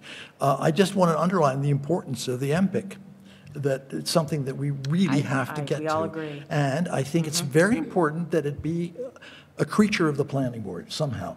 I don't know whether it means we, ju- Yeah. we are, it's Could just I- us Well, plus everything, Janet, or whether we'll we can, to or whether we can appoint other people. I don't know how that can work. So, It would be ideal to Chris, have. can you look into what our options are in the power of a subcommittee and what limitations there are with that? And then if there was actually, and just check what, again, was the original idea of, because there was some, re- you know, the select board um, created the charge and created the committee, so Do have that material. that would be office, and I will really find- helpful. Thank you. And so that, we'll continue that. Janet, you have something to add? I, I, I, I also want to reiterate that we shouldn't spend 11 years waiting to implement the, the MOPEC. And so if we wait another year, and I hope this process is much faster if it's going to be a lighter process. Um, I would wonder, if Michael, if you could, I I- in my endless search for information, maybe talk to Ralph Willmer or somebody about like, what do other towns do with implementing committees? Like, you know, I think it'd be great if it was just a planning board committee and we had a board of advisors that we went, when we're talking about transportation, we just, you know, call somebody up and bring them in for a, a talk. Um, I dread the idea of getting hooked into the town manager or the town council selection process, and so I think, you know, we have a zoning subcommittee that does that, and maybe we can do a MOPIC that does that with some advisors and make it sort of easy and not crazy, but can we get more information about what that would be and involve, and bring, bring it back to discussion? That'd be, Okay, great. Um, David? I think that this material is great, and I'm looking forward to starting it. I'm curious, in about a month's time, according to, what's the first step? What what are we tackling step first? is Ms. Brestrup. Step is on me. I'm supposed to take um, one chapter and go through it and um, try to um, update it as much as I can. I have made a start on, I think, the first, well, I don't know, three, three chapters. I've got a list of things that I would put into them and some things that I would take out and things that I would emphasize. What I'm envisioning is that there would be some sort of introductory paragraph that sort of describes in general how things have changed with regard to the particular topic. And then I would go through each, I think they're called strategies, each strategy, and look at it and see if it is something that we've already accomplished, because many of them are, or something that we've partially accomplished, and we could comment on that, or something that we haven't done anything about at all, and evaluate whether we really want to keep this on our list of things that we want to do, and then perhaps at the end have some kind of um, concluding paragraph or pages about where do we go from here. So that's kind of what I'm envisioning. is, is there a way, when you bring that back to us, like, half the page is the original language, and the other half of the page is the changes? We, we can do both ways, Chris. You can Yeah, do 'cause it's- markup, and then you can. Because the markup stuff is kind of Do okay, but page after page after, it kind of does something to my mind. It's a word thing. You can do both.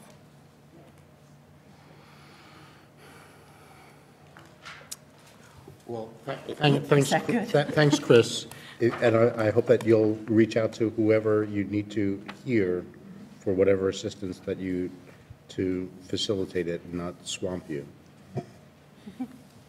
Uh, Yes, Janet? So one of the things, I went to this, to the CRC meeting, um, on the chart, one of the, how we work is maybe the easy part, because we can talk amongst ourselves. But um, on the, on the chart, when it goes to the CRC, in the memo from the CRC, it was 45 days or more if the town council grants it. And so I wonder if people could focus on the, the rest of the piece, because you know, my fear is that it'll be 45 days, and then it'll be extended, and then it goes to the town council, and people will start digesting a 100-page plan, and I could just... checked with Mandi Jo today, she said 45 45 days. is good, okay. So I mm-hmm. just want to, mm-hmm. you know, She said 45. I have kind of concerns for that, but at some point, we just can't control everything and people, so. That is true. Um, If it's okay, I'm going to move on to item seven, planning and zoning, zoning subcommittee report, which, do you have more? Okay, we'll count that as done. Uh, Item six, old business. A, we have a decision signing, fun, fun. Unfortunately, I didn't finish the decision. Oh, I was thank hoping to God. have I Mr. mean, Gerfein's, okay. hoping to have Mr. Gerfein's decision ready for tonight, but I don't have it ready, so um, Ah, it's a I'm shame. hoping it will be ready for the February 19th. Great, more on Yes, February Oh, 19th. Riverside God. Organics, um, the culti- culti- cannabis growing, that's right, yep. There are two, there are so many parts to it, and I want to get it right, and, yep. Get it right, it's all right. We're not sad. All right, item seven, new business, we already covered um, that, unless there's something else that has not been, okay, why did I know that? Yep, UMass is going to launch into a project to um, dredge their pond.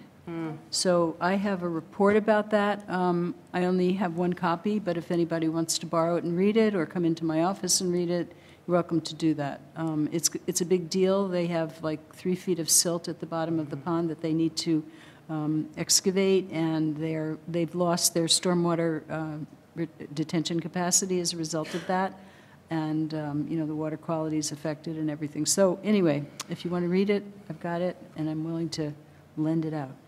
good times, we'll all be lining up. Are we, go- are we going to be discussing it here?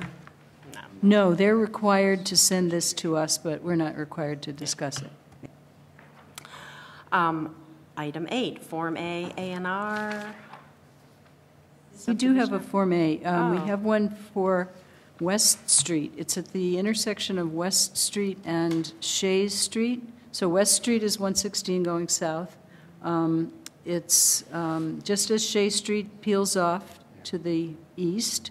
Um, There's a house uh, owned by a former um, uh, reverend. Um, She used to be the the reverend of the First Congregational Church. Donna Schaper is her name. And um, she and her husband own this property, and it's a really big property. There's a house on it. They don't live there anymore, and they would like to um, peel off a, a property to sell for someone to do something with. So um, we'll, we'll show you the location. We have a location map, and then one of us will bring this around and show you what they're planning to do.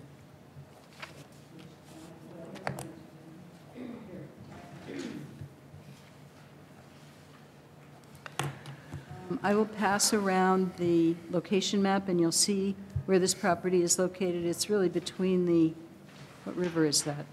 It's probably the... Cross River. Fort River? Yeah, yeah. Fort River down there, yep. So it's between the Fort River and Route 116.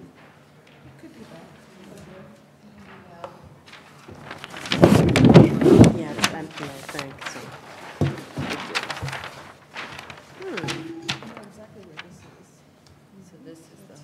Oh, property. yeah, it's huge.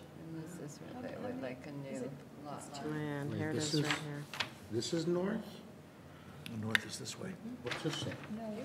No, north is that way, yeah. that's Yeah, right. north is this way. So you're heading north, Shea, Yes. comes in, and it, it's this, there's, I sort of remember the metal guardrail, so next time you go, you'll go, ah, it It is is. steep. It goes steep way down. So this is the part they want to take off and sell, right? Yep, they want, and I like this, the inhabitants of the town. Sounds kind of vague back there. They want to sell the back piece? No, it's No, this this, property. this piece right here, they want to carve off, And that's and, the neighbor. and this is the neighbor. Almost have enough to make two lots. I know. It looks like it. I think, like I was saying, this is a drop-off here, That's not there's a there. That's the guardrail. That's a different piece. Um, There's no, there's no frontage there. Thir- I'm completely Thirty-three misreading. there, oh. Yeah, look at It's- three it's- hundred, it's all- it's Three hundred massive. square feet. 300 Yeah, see, this is feet. hundred and sixty, so even It this is, one a- is, it is yeah. enough for two lots. Yes, that would be really, Yeah. thank you very much. It's probably a topography issue, because it they could really get- well, drops. If they could get one driveway down, they could get the, Beautiful house, too. they But can they get two building circles? I don't know, Chris would know. Side by side. They, Well, depends they on may, what's- Is there wetlands, is there trees? my guess is that they're going to sell both the lots, that lot with the house Yeah. on it and the other lot, and then whoever buys the other lot will determine what can be done with that lot. And I Yeah. think it is possible to subdivide it, to make front, more frontage lots, possibly some flag lots, but that's not something that they want to get involved in at this time. They want So to they're sell, just, sell, the- sell the problem with somebody else. yes, that's what it sounds They like, don't- yep. Yeah, because it will So be, the possibility. You could put it that way if you like, David. because it drops down and then there's this. It Looks straightforward to me. Everybody good? I don't know why Okay. you guys are insulting me. Who's insulting you? Be nice, play nice in the sandbox, please. Okay, so now, uh, is that it for A and Rs? Okay, we'll go to item nine, upcoming ZBA applications. Pam, do you know of any upcoming ZBA applications? Uh, 10, upcoming SPP, SPR, S- So the one I know about is um, this one uh, that is on Bay Road. It's um, property that is owned by Jeff Brown and his son Jack, and it's um, up the hill getting towards the mountains. They own properties that kind of climb up the hill, and they want to create one lot way in the back. And in order to do that, they have to extend an existing common driveway. So the um, zoning bylaw talks about what you're allowed to do with the length of a common driveway and a, and the steepness of a common driveway. And if you want to deviate from that, then you have to come and get a special permit from the planning board. So um, you'll be seeing this on March 4th, and we'll probably want to take a site visit unless it's um, very snowy or something like that. So I'll be in touch with you about that. Has that property come to us before? That property has come to you as an A and R. Okay. Um, And it's gone to the, to the ZBA. I think the ZBA has granted a special permit for flag lots to be created there, to be built on. But in order for them to actually be built on, you have to um, give the special permit for the driveway modifications. Okay, thank you. Um, Any others? There are always things out there in the wings, but nothing that's been submitted. Great. Um, We'll move on to Planning Board Committee Liaison Reports. Um, Jack's not here, so I'll skip that one. Um, Michael, did any of yours meet, either of yours? Yeah, Community Preservation Act Committee is uh, in the, in the end stages of its deliberations about the proposals for this year. We are, we have a meeting tomorrow, which probably will finish up the, uh, uh, the process. And um, I was just going to ask you at the same time, Design Review Board, did they meet? Design Review Board has not met. Did the Ag Commission meet, David? Yes, and Oh. it was an amazing meeting. It was great. And there were two, two things that They don't Um, usually meet very much. were, I thought, uh, uh, relevant for the planning board in my mind. One is that there, there was a a presentation about pollinators, um, butterflies and birds, encouraging, among others, and that solar farms and are actually are often an inviting site for pollinators, especially since there's a lot of space within the solar farms that are kind of just allowed to grow. And, and that, uh, uh, it's- it occurred to me during the meeting that a possible condition on future solar farms is to encourage pollinator development, and then there are standards and societies and cool. And the second thing that seemed relevant, um, there was a presentation about trying, about the ebb and flow of community gardens in Amherst. And now we're in an ebb period, and there are fewer than there had been previously.